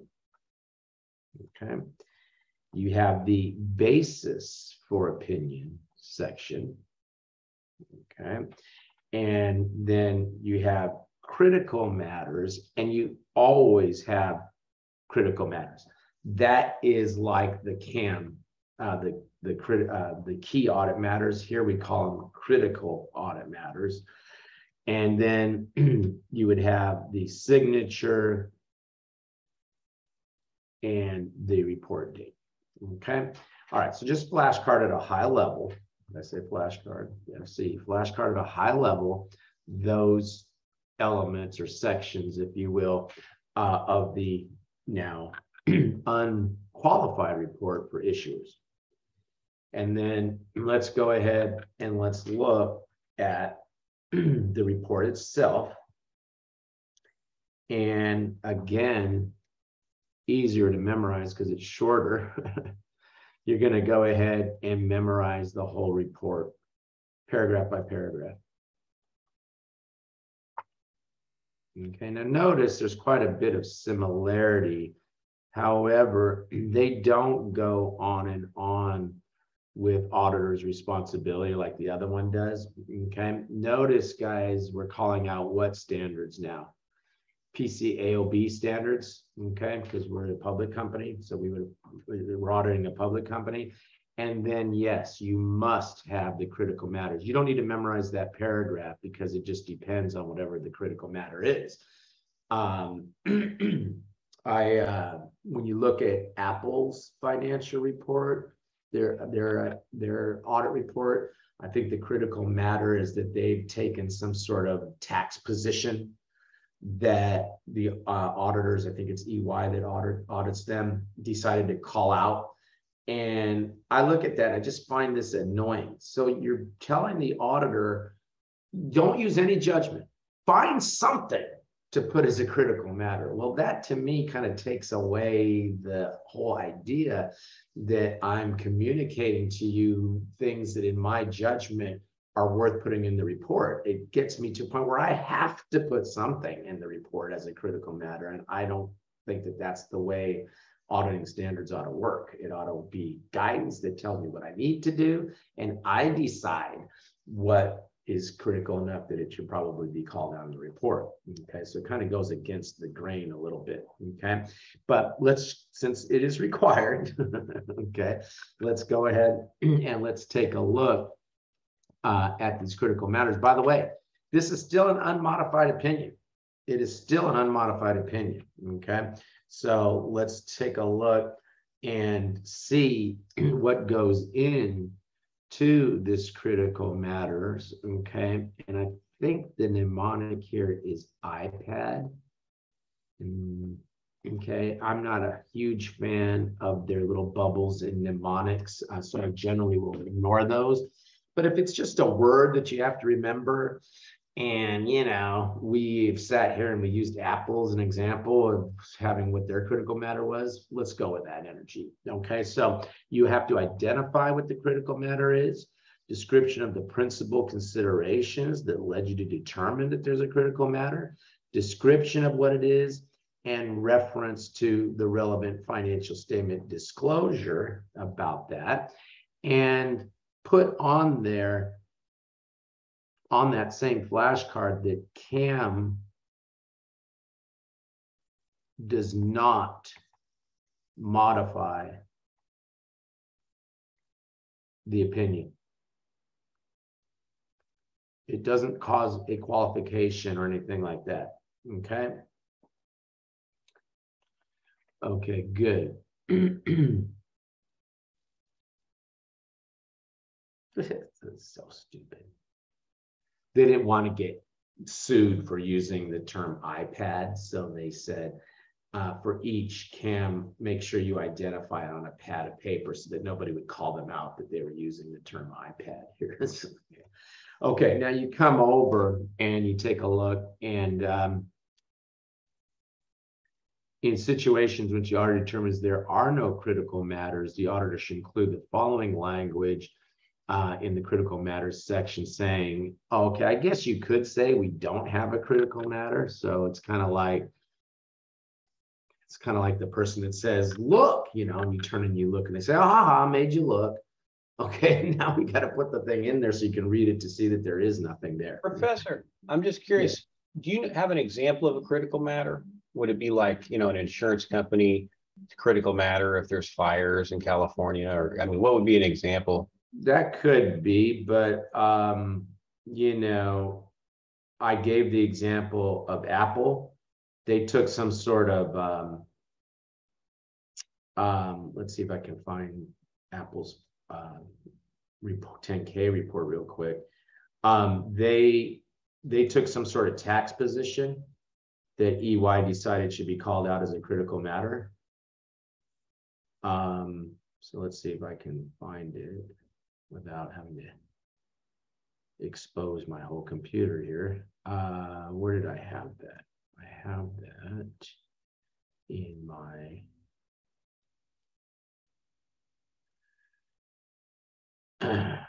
financial accounting slides. There it is.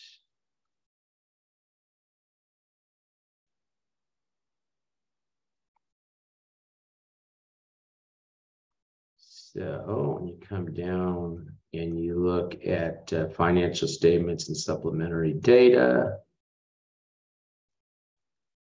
Okay, and then reports of independent registered public accounting firm. And there's the opinion, there's the basis for the opinion, there's the critical matter, and I guess they took some sort of uncertain tax position that they had to call out, whatever. And then um, I think this was uh, how they addressed the matter, and this was EY. Okay? Sure. Yeah. So you can see this stuff is, you know, living, breathing, you know, I know we're kind of sitting here and stuff gets a little dry, but it's really out there, right? Stuff's really, really doing this stuff. So, okay, so let me get back here. And um,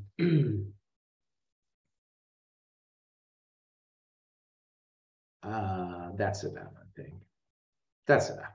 Okay, because again, they can go over on and on with this. Um, now, when for public companies, okay, when management is required to report on the company's internal control, which is the case for public companies, uh, but such report is not required to be audited and the auditor was not engaged to perform an audit of management's assessment effectiveness of internal control of financial reporting. The auditor must include a statement in the auditor's report as the basis for opinion. The company is not required to, nor has the auditor engaged to perform an audit of its internal control of financial reporting. In the unusual circumstance that happens, just like we saw in the non-public company report, um, you would want to call that out so that people understand, hey, if you're looking for that, it ain't here. Okay. Okay, good. Let's take a look at a question.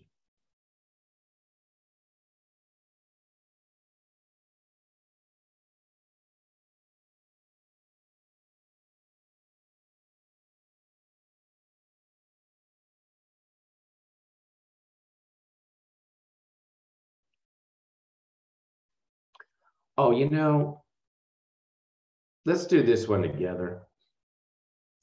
Oh, go ahead. Go ahead. You can do. it. And then I'll go. over. Go ahead.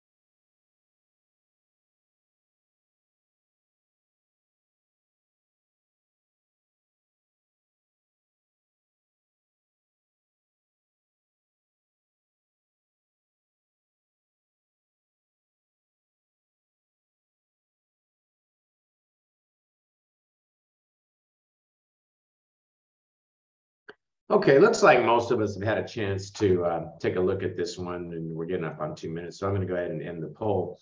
And um, okay, yeah, you know, sixty percent on a question like this is completely understandable um, because this is a dumb question, and I wish Becker would take it out of the class questions in the textbook. Okay, the correct answer is an unmodified opinion. Okay, and the idea here, the concept is that we don't mention anywhere in the textbook that if someone has departed, remember our, our objective is what? To make sure investors and creditors are getting uh, reliable information they can use to make their decisions, right? Well, if an unusual circumstances by following GAAP, the statements were misleading, then you would be okay with them not following GAAP and you could issue an unmodified opinion the problem that I have with this stupid question, okay, excuse my, you know, for being kind of rude here. Nobody can give me an example of what that unusual circumstance would be. I mean, do we have a case that we can talk about here? And nobody has one. So I'm like, well, when does this happen? You know, and why is there a question on the CPA exam that's contemplating this freak of a situation? You know, um, where a company didn't follow GAAP, we knew they didn't follow GAAP, and we still issued an unmodified opinion. I've never heard it, never seen it. So, you know, that would be the case from a weird theoretical standpoint. This is true, but why are we being bothered with this? I don't know. Okay. All right. So that's it. That's all I got to say about that. I don't, I don't know. If you see that question on the exam, now you know the answer. Okay, let's take a look at uh, now the modifications.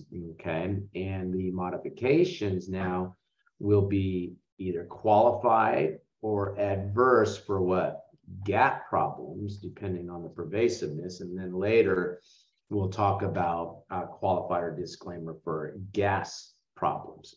Okay, now remember we took the approach that we understood the structure of the unmodified report and we understood unmodified, unqualified, and we understood, we memorized the key words, the, the, par the paragraph by paragraph, all the words in most of those paragraphs and the key words on some of those others, okay? Now, again, when we are talking about GAAP issues, it's a question of qualified or um, adverse opinion, okay?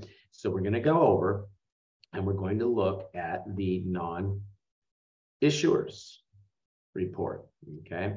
And when we look at the form and content here, I want you to flashcard for non-public companies, for non-issuers, the uh, major sections, title, address, opinion, basis, and now we're calling it a qualified opinion and we're calling it a basis for qualified opinion. So I'm having you flashcard these high levels.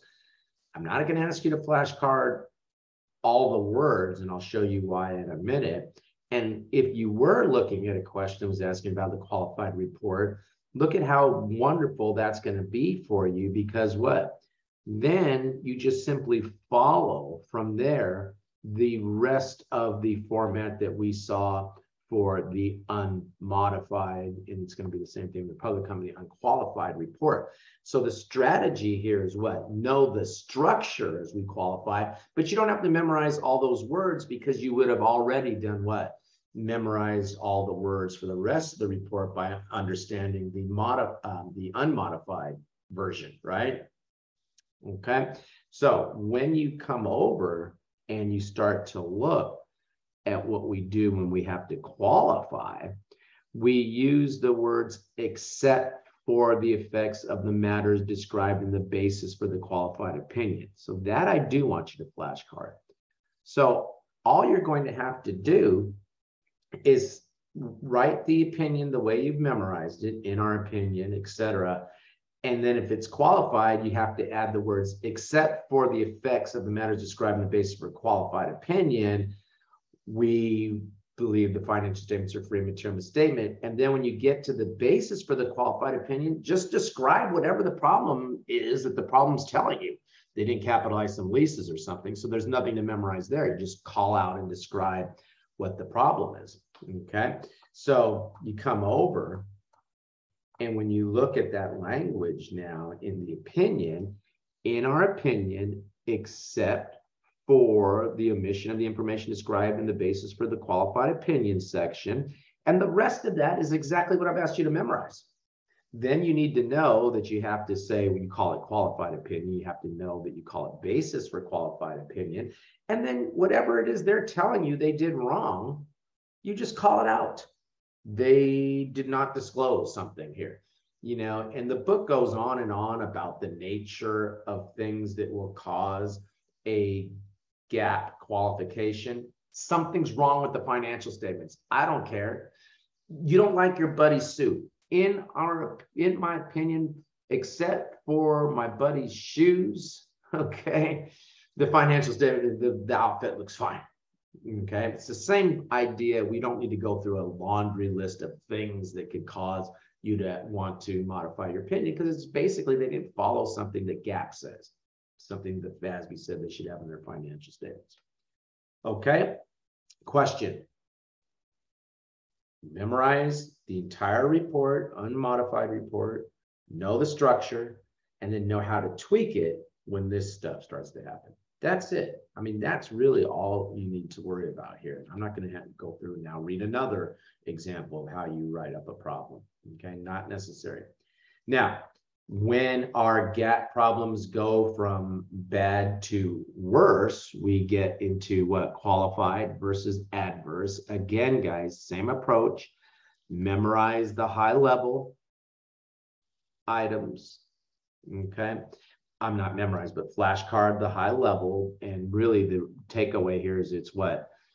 Adverse opinion and basis for adverse opinion. And flashcard here, importantly, that you should not put a key matter section if you are giving an adverse opinion because they don't want it to overshadow the horribly bad key matter, which is that you're giving an adverse opinion on the financial statements. Okay, so do include that there, and is a flashcard detail, and then um, that you use the word because of the significance. Okay, instead of except for. And the way to kind of remember that, a silly example, let's say you have a significant other and you guys are having one of those conversations where, hey, tell me, are there things that I can do? And you say, oh, except for the fact that you snore, you're a wonderful person, whatever, right? Okay, whatever it is, but it's not the end, right?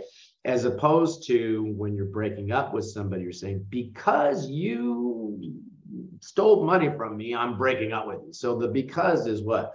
Much more pointing you know, end of the story type thing as it's supposed to, except for everything else is okay. Okay.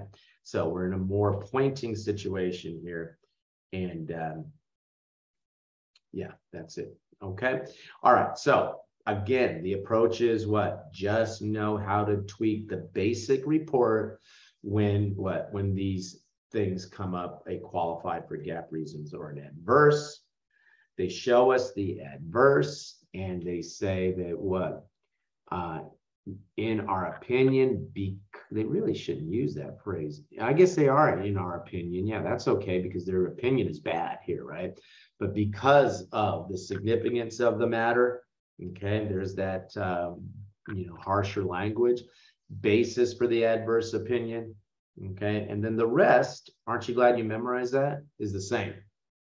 Okay so all you need to do is memorize the basic uh, unmodified report and then know how to tweak it accordingly when things start going wrong. Okay, now that of course, and it's very annoying, guys. I know that you have to know what to do with a public company, non-public company. I don't know why they can't get together. Okay, but let's take a look at the qualified opinion structure now for the public company. And again, um, flashcard the key areas and notice what they give the opinion section, but unlike public company, they don't call it qualified opinion in the heading. I mean, un unlike non-public company, non-public, they called it out as qualified, right? Instead of saying, um, you know, a basis for our unqualified opinion, they just add um, a basis for a qualified opinion, like we saw with the non-public companies. They just add a paragraph describing what their problem is. Why are they qualified? Okay. Then basis for uh, opinion is the same that you memorized before for the um, issuers and then the critical matters, you know, whatever the critical matter is. Okay. Different approach, right? Additional paragraph that describes, and notice that paragraph doesn't have a name. Okay, now you come over and you take a look and they give the opinion. And notice, guys, and I probably should add you flashcard that. Um, it has the words in there except for.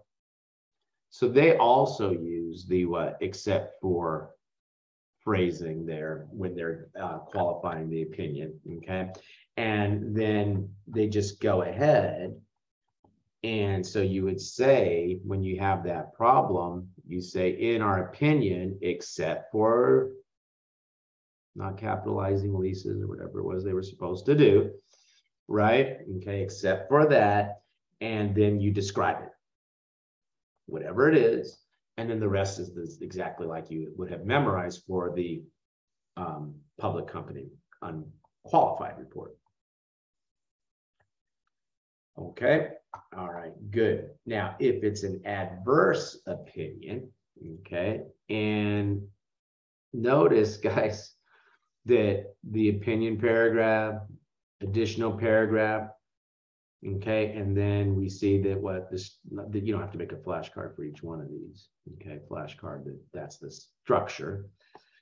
Okay, and uh, notice they don't call out what it is an adverse opinion. You have to read it, I guess. Maybe that's the thing that PCAOB wanted you to do is read it to find out that it's uh, adverse opinion. And notice that when it's an adverse opinion, they do use the language what?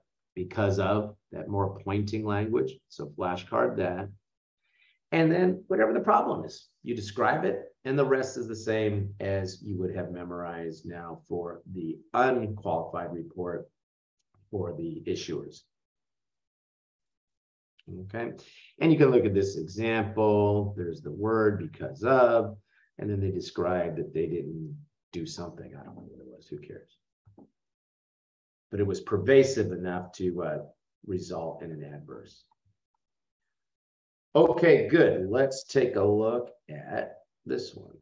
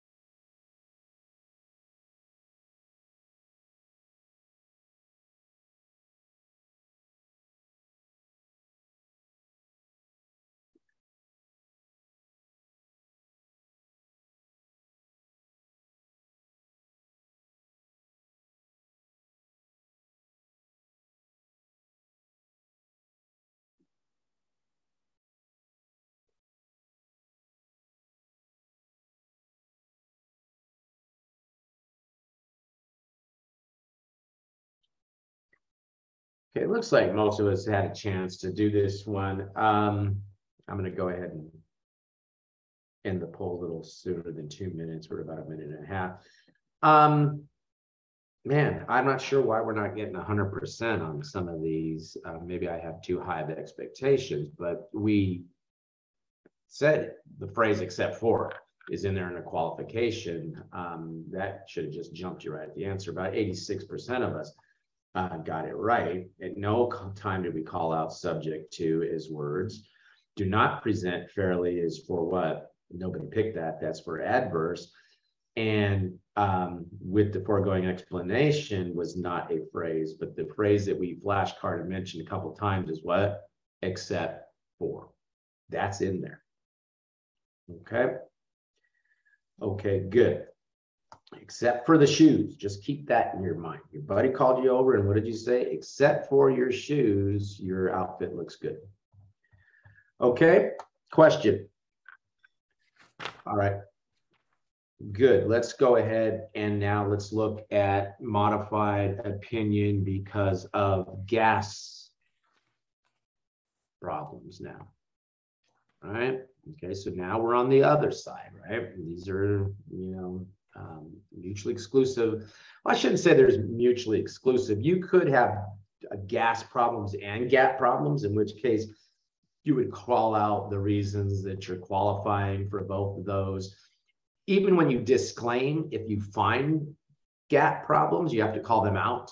Okay, so I shouldn't say they're mutually exclusive, but at least in terms of CPA exam questions and how they tend to ask it, they want to know what language should you use if you're dealing with GAAS versus GAAP problems. But in practice, it could be that you have both, right? Okay, but let's just go ahead and take a look. And um, remember, it's qualified versus disclaimer on the GAAS side. Okay, versus we use the word qualified in both GAAP and GAAS problems, but as a problem become more pervasive, go from bad to worse. For GAAS problems, we use the word disclaimer. For uh, GAAP problems, we use the word adverse, right? Okay, now let's come down and let's take a look at what happens um, when we have a scope limitation. Scope limitation is another way of saying GAAS problem. Okay, we're not able to apply the procedures we want to. Okay, that's a scope limitation. If your buddy's not wearing the shoes, um, the day that you look at his outfit, that's a scope problem because you can't see the shoes, right? Okay. Now, what happens? These scope limitations can come from circumstance. Okay. Scope limitations, cause of scope limitation could be because of circumstance or management imposed scope limitation. Okay. Uh, for example, let's say we were not engaged at the beginning of the year, and therefore we can't observe the entity's inventory. And let's say inventory is material to the financial statements. Well, what happens? If I can't see the beginning inventory, then it makes it difficult for me to figure out what the cost of goods sold is because cost of goods sold is what beginning inventory plus purchases minus ending inventory, which I may be there to observe the ending inventory. If I wasn't there last year to see them count the ending inventory, then I don't know what the beginning inventory is. And if cost of goods sold, beginning inventory minus ending inventory was cost of goods sold, beginning inventory plus purchases minus ending inventory plus cost of goods sold. If I'm not there to see the beginning inventory, I might want to do what? Qualify or even disclaim an opinion on the income statement. I'm going to have a problem with the statement of cash flows because statement of cash flows has net income reconciled to cash provided by operating activities. I may want to qualify or adverse the statement of stockholders' equity because in the retained earnings section, here comes that annoying net income number again, right? I might be able to give an unmodified opinion on the balance sheet because what? The balance sheet is basically a year end document, right? And I would have been there at the year end to be able to see that. Okay. So this would be an example of a circumstance. Now, let's say that they hire me after year end, they hire me, you know, the beginning of the next year, they hire me um, uh, February 1st. I could go to management and say, look, we're going to have to qualify or even disclaim an opinion on the income statement, statement cash flow, statement retained earnings, whatever, um, unless you can take the inventory now. If you take the inventory now, then um, that'll solve this problem. We'll back into what the inventory must have been at January 1st, right? Because you could just back out some sales that happened in January and come up with an alternative procedure, right? Okay. Uh, that would be okay. Now, if management says, no, we're not paying for that. Well, now we have what? Now we have a scope limitation imposed by management.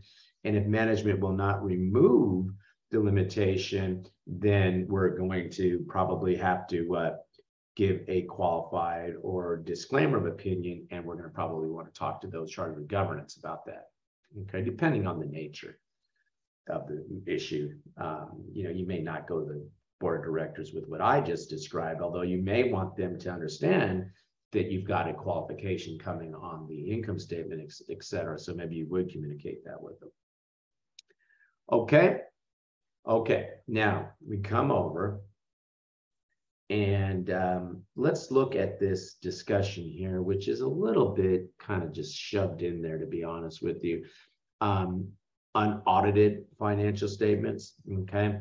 And um, right here, disclaimer on unaudited financial statements is what I really want to look at. And an accountant who is associated with financial statements of an uh, of an engagement conducted in accordance with PCAOB standards without auditing or reviewing them should issue a disclaimer of opinion. Uh, other requirements for this type of disclaimer include, and let's just go ahead and flashcard, the account must read the financial statements for obvious errors. Disclaimer may accompany the unaudited financial statements. Unaudited should clearly be marked on each page of the financial statements. And if the client won't correct the obvious error, uh, then the uh, auditor should withdraw from the engagement. So they're putting this here, and the reason I'm saying it's kind of out of place here, because they're talking about PCAOB standards, we're going to see that we're going to have this same sort of discussion when we start talking about something called a compilation of financial statements where the auditor has not audited or reviewed the statements. For non-public companies, when you compile statements, you have this same kind of requirement that you have to read the statements for obvious errors, et cetera, and follow these rules. I'm not sure why they didn't put that in that chapter where we talk about uh, what happens if you haven't audited or reviewed. You simply compile financial statements for a non-public company. For some reason, they chose to put it here. Okay, so just flashcard those requirements. Okay, good. Now you come over and uh, let's take a look at the non-issuer report when we have um, qualified now for um, GAAS reasons, okay? And notice, guys, that the headings are very much the same as what they would be if it was a qualification for GAAP reasons. Okay, so they're the same, it's the same structure essentially, right? So maybe you can make that flashcard that I had asked you for for the qualified for GAAP reasons. Maybe you should say, what's the structure of the report if it's qualified for GAAP or GAAS reasons? The structure is the same, isn't it? Notice though that we say what? We say here the audit report should include a section, the heading qualified. We knew that. And um, the auditors should say, except for the possible matters described in the basis for the qualified opinion, and then instead of calling out some GAAP problem, so you still use that except for language, it's except for if it's a GAAP problem, except for it's a GAAS problem. The only difference is in the basis for your qualifying. Notice it's not saying GAAS problem is, is, is in the heading. It just says basis for qualified.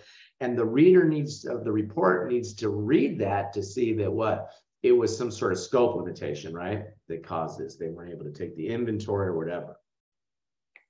Okay. All right, good. Now you come over and you take a look and they give us some examples. You know, I don't care what the reason is. I really don't, because it, it just it just depends on what the problem is telling you. The auditor was not able to do. Uh, if it was your buddy's shoes, you'd say, "My buddy didn't." Basis for qualified opinion, my buddy didn't have the shoes on the day he asked me to opine on his outfit. Whatever it is, you'd call it out. GAAS generally accepted auditing standards say I'm supposed to do three Hail Marys before I do every audit procedure. I was only able to do one Hail Mary, whatever it is, and you call it out. Okay. Okay, good. And then they give us another example, I think. Um, oh, disclaimer of opinion. I thought they gave us another example. Now, here's disclaimer. Okay. Now, go ahead and flashcard the headings for the disclaimer. Basis for this disclaimer Again, um, flashcard that we do not call out key audit matters when we start getting into the red, either adverse or disclaimer. Don't call out the key audit matter. Okay, the rest is the same as you have. Uh, um, well, I shouldn't say the rest. Let's look at the auditor responsibility uh, for the financial statements. Okay, and let's see what are some key things here. Um, and um,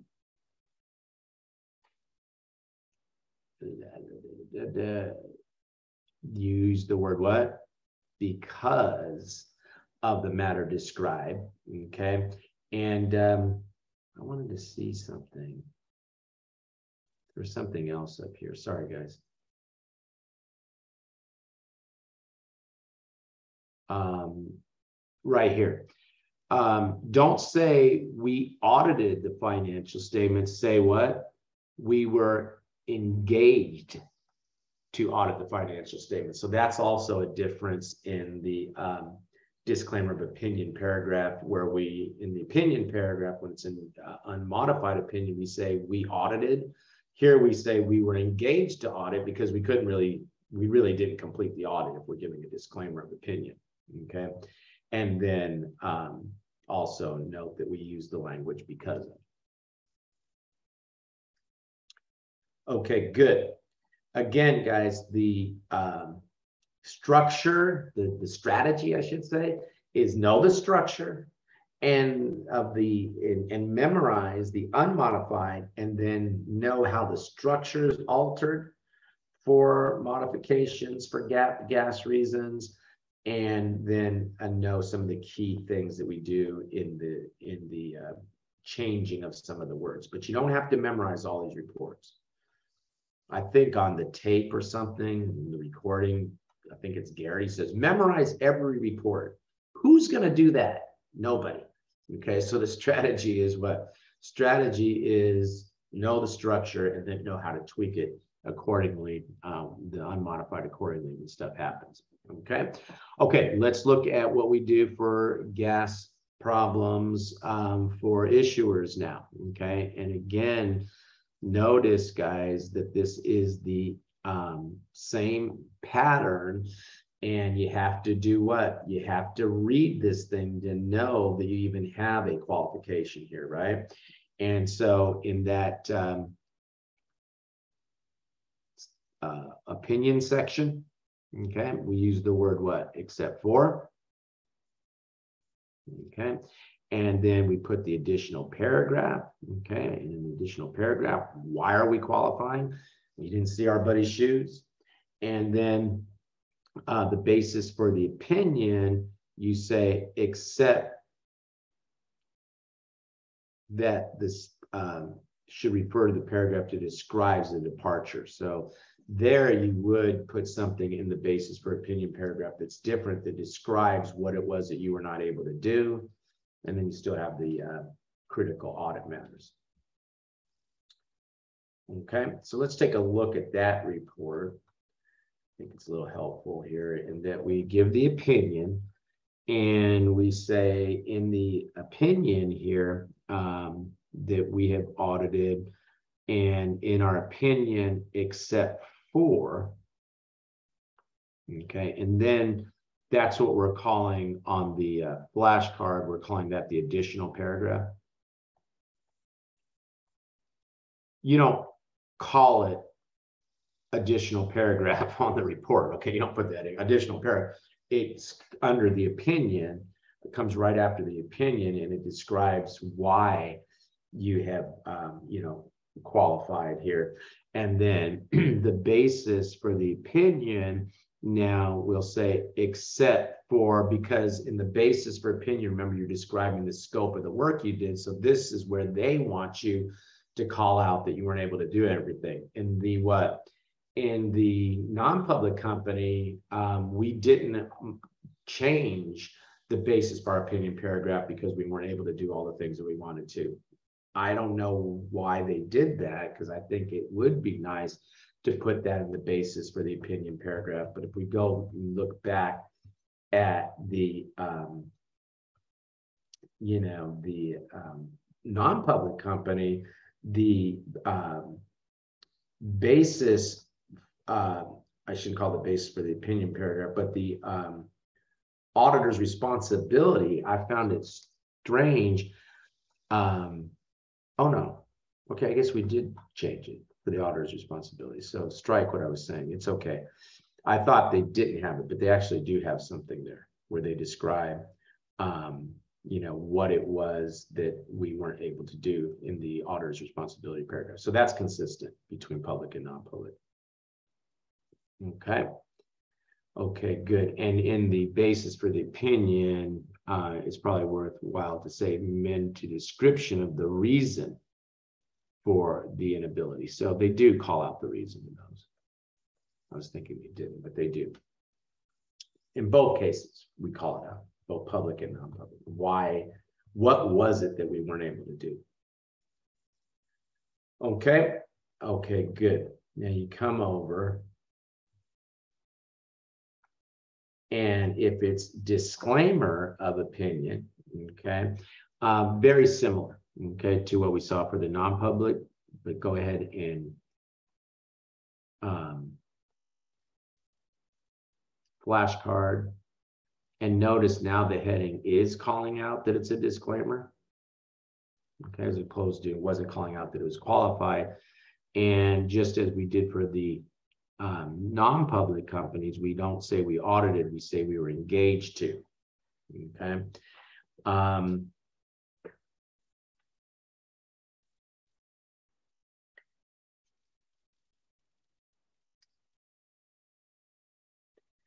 um, and let's flashcard this elimination of the entire section that says we uh, conduct our audit in accordance with, they don't want you to start calling out the standards and whatnot, because then somebody will think you actually are able to do that audit. Okay. And there's an example of.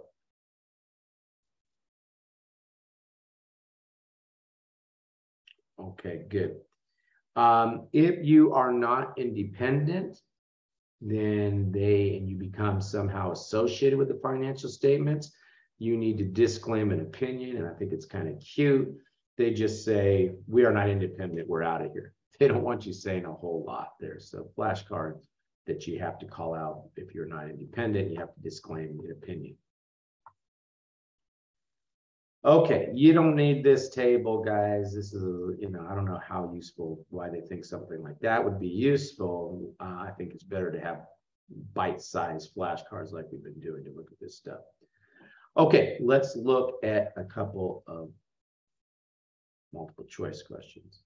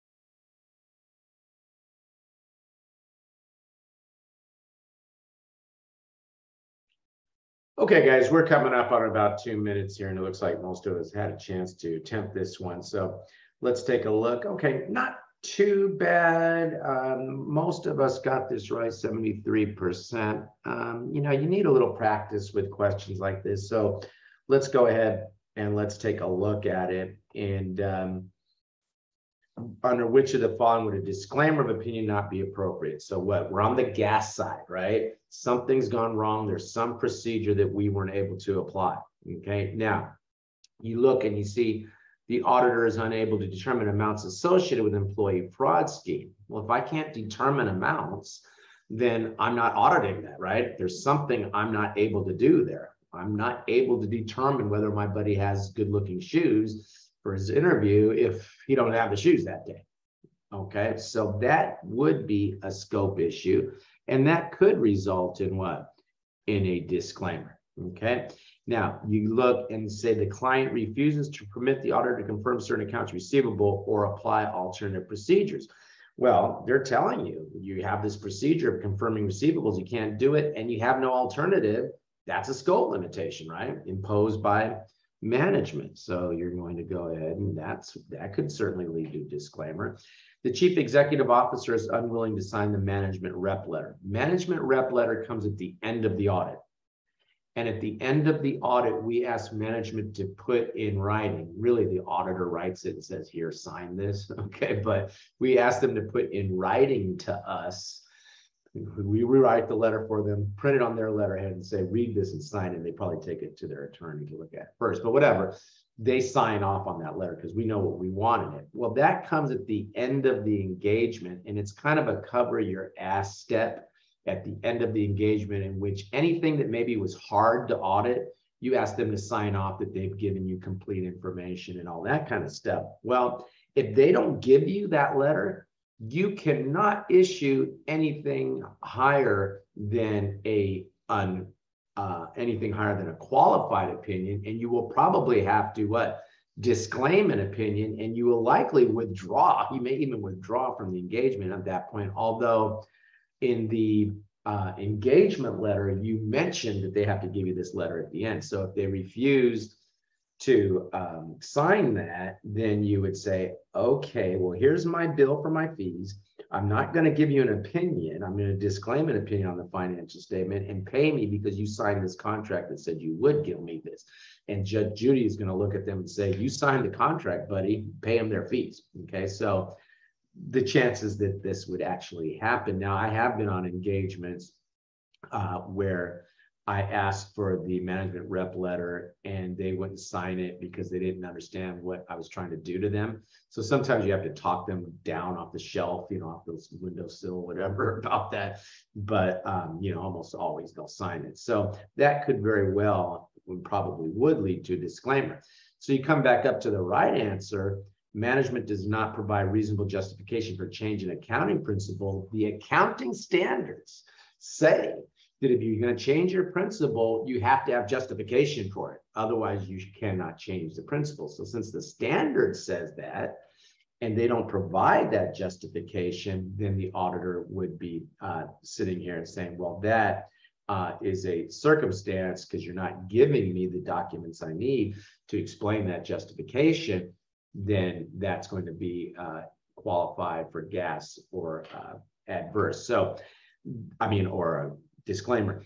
Um, that one's kind of tricky, right? Because they mention accounting principle in there, right? But from the auditor standpoint, to be in accordance with the standard, you're going to have to give me something that shows that you were justified in that change. And if you don't, that's a scope limitation that could result in a disclaimer. So that one's kind of tricky. Question? You see what's going on here, guys, how the auditing exam in and of itself is not hard. It's just the way they they have this talent for making the right answer sound wrong by putting the word accounting principle in there. Throws you off. Okay, so you've got to build up some resistance to that kind of stuff. And, and I you will as you have more practice with these. Okay, good. Let's look at our last question for tonight.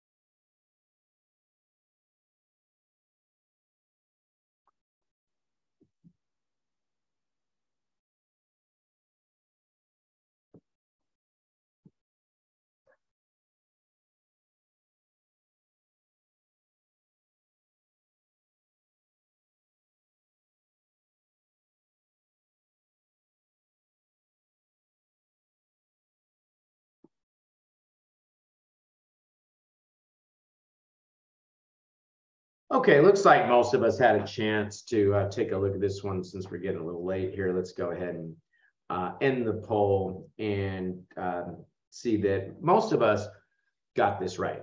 Okay, so that's good. The answer here is D. Okay, and the first thing when you look at this, they're saying, well, there was a qualified opinion um, due to um, the inability to obtain appropriate evidence. That's what, that's obviously a GAAS issue. And they want us to determine which of the paragraphs of the non-issue sections of the non-issuer report would be affected here. Guys, the first thing to take away is there was never a time where we had some sort of modification that resulted in what? A change to the management's responsibility paragraph management responsibility section, their responsibility is what it is. That doesn't change because they started doing things wrong. So you can immediately do what? Eliminate B and C because there is no requirement for a modification to management responsibility.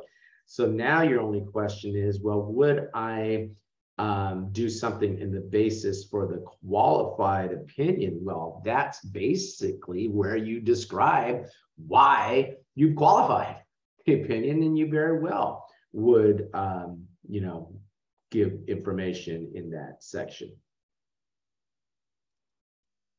Okay. Question Okay, guys, good work. Uh, I think we made some good progress here. We got ourselves through what, uh, six modules or so here, five modules. Okay, six modules.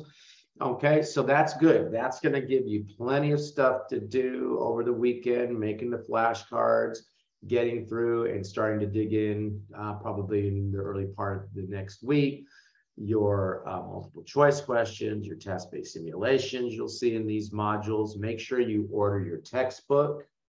Okay, if you haven't done that already, activate your software and um, you know get start getting through this material. Don't forget you have that um, CPA planning document that I'm going to be looking for here pretty quickly. So um, you know make sure you're working your way through that stuff.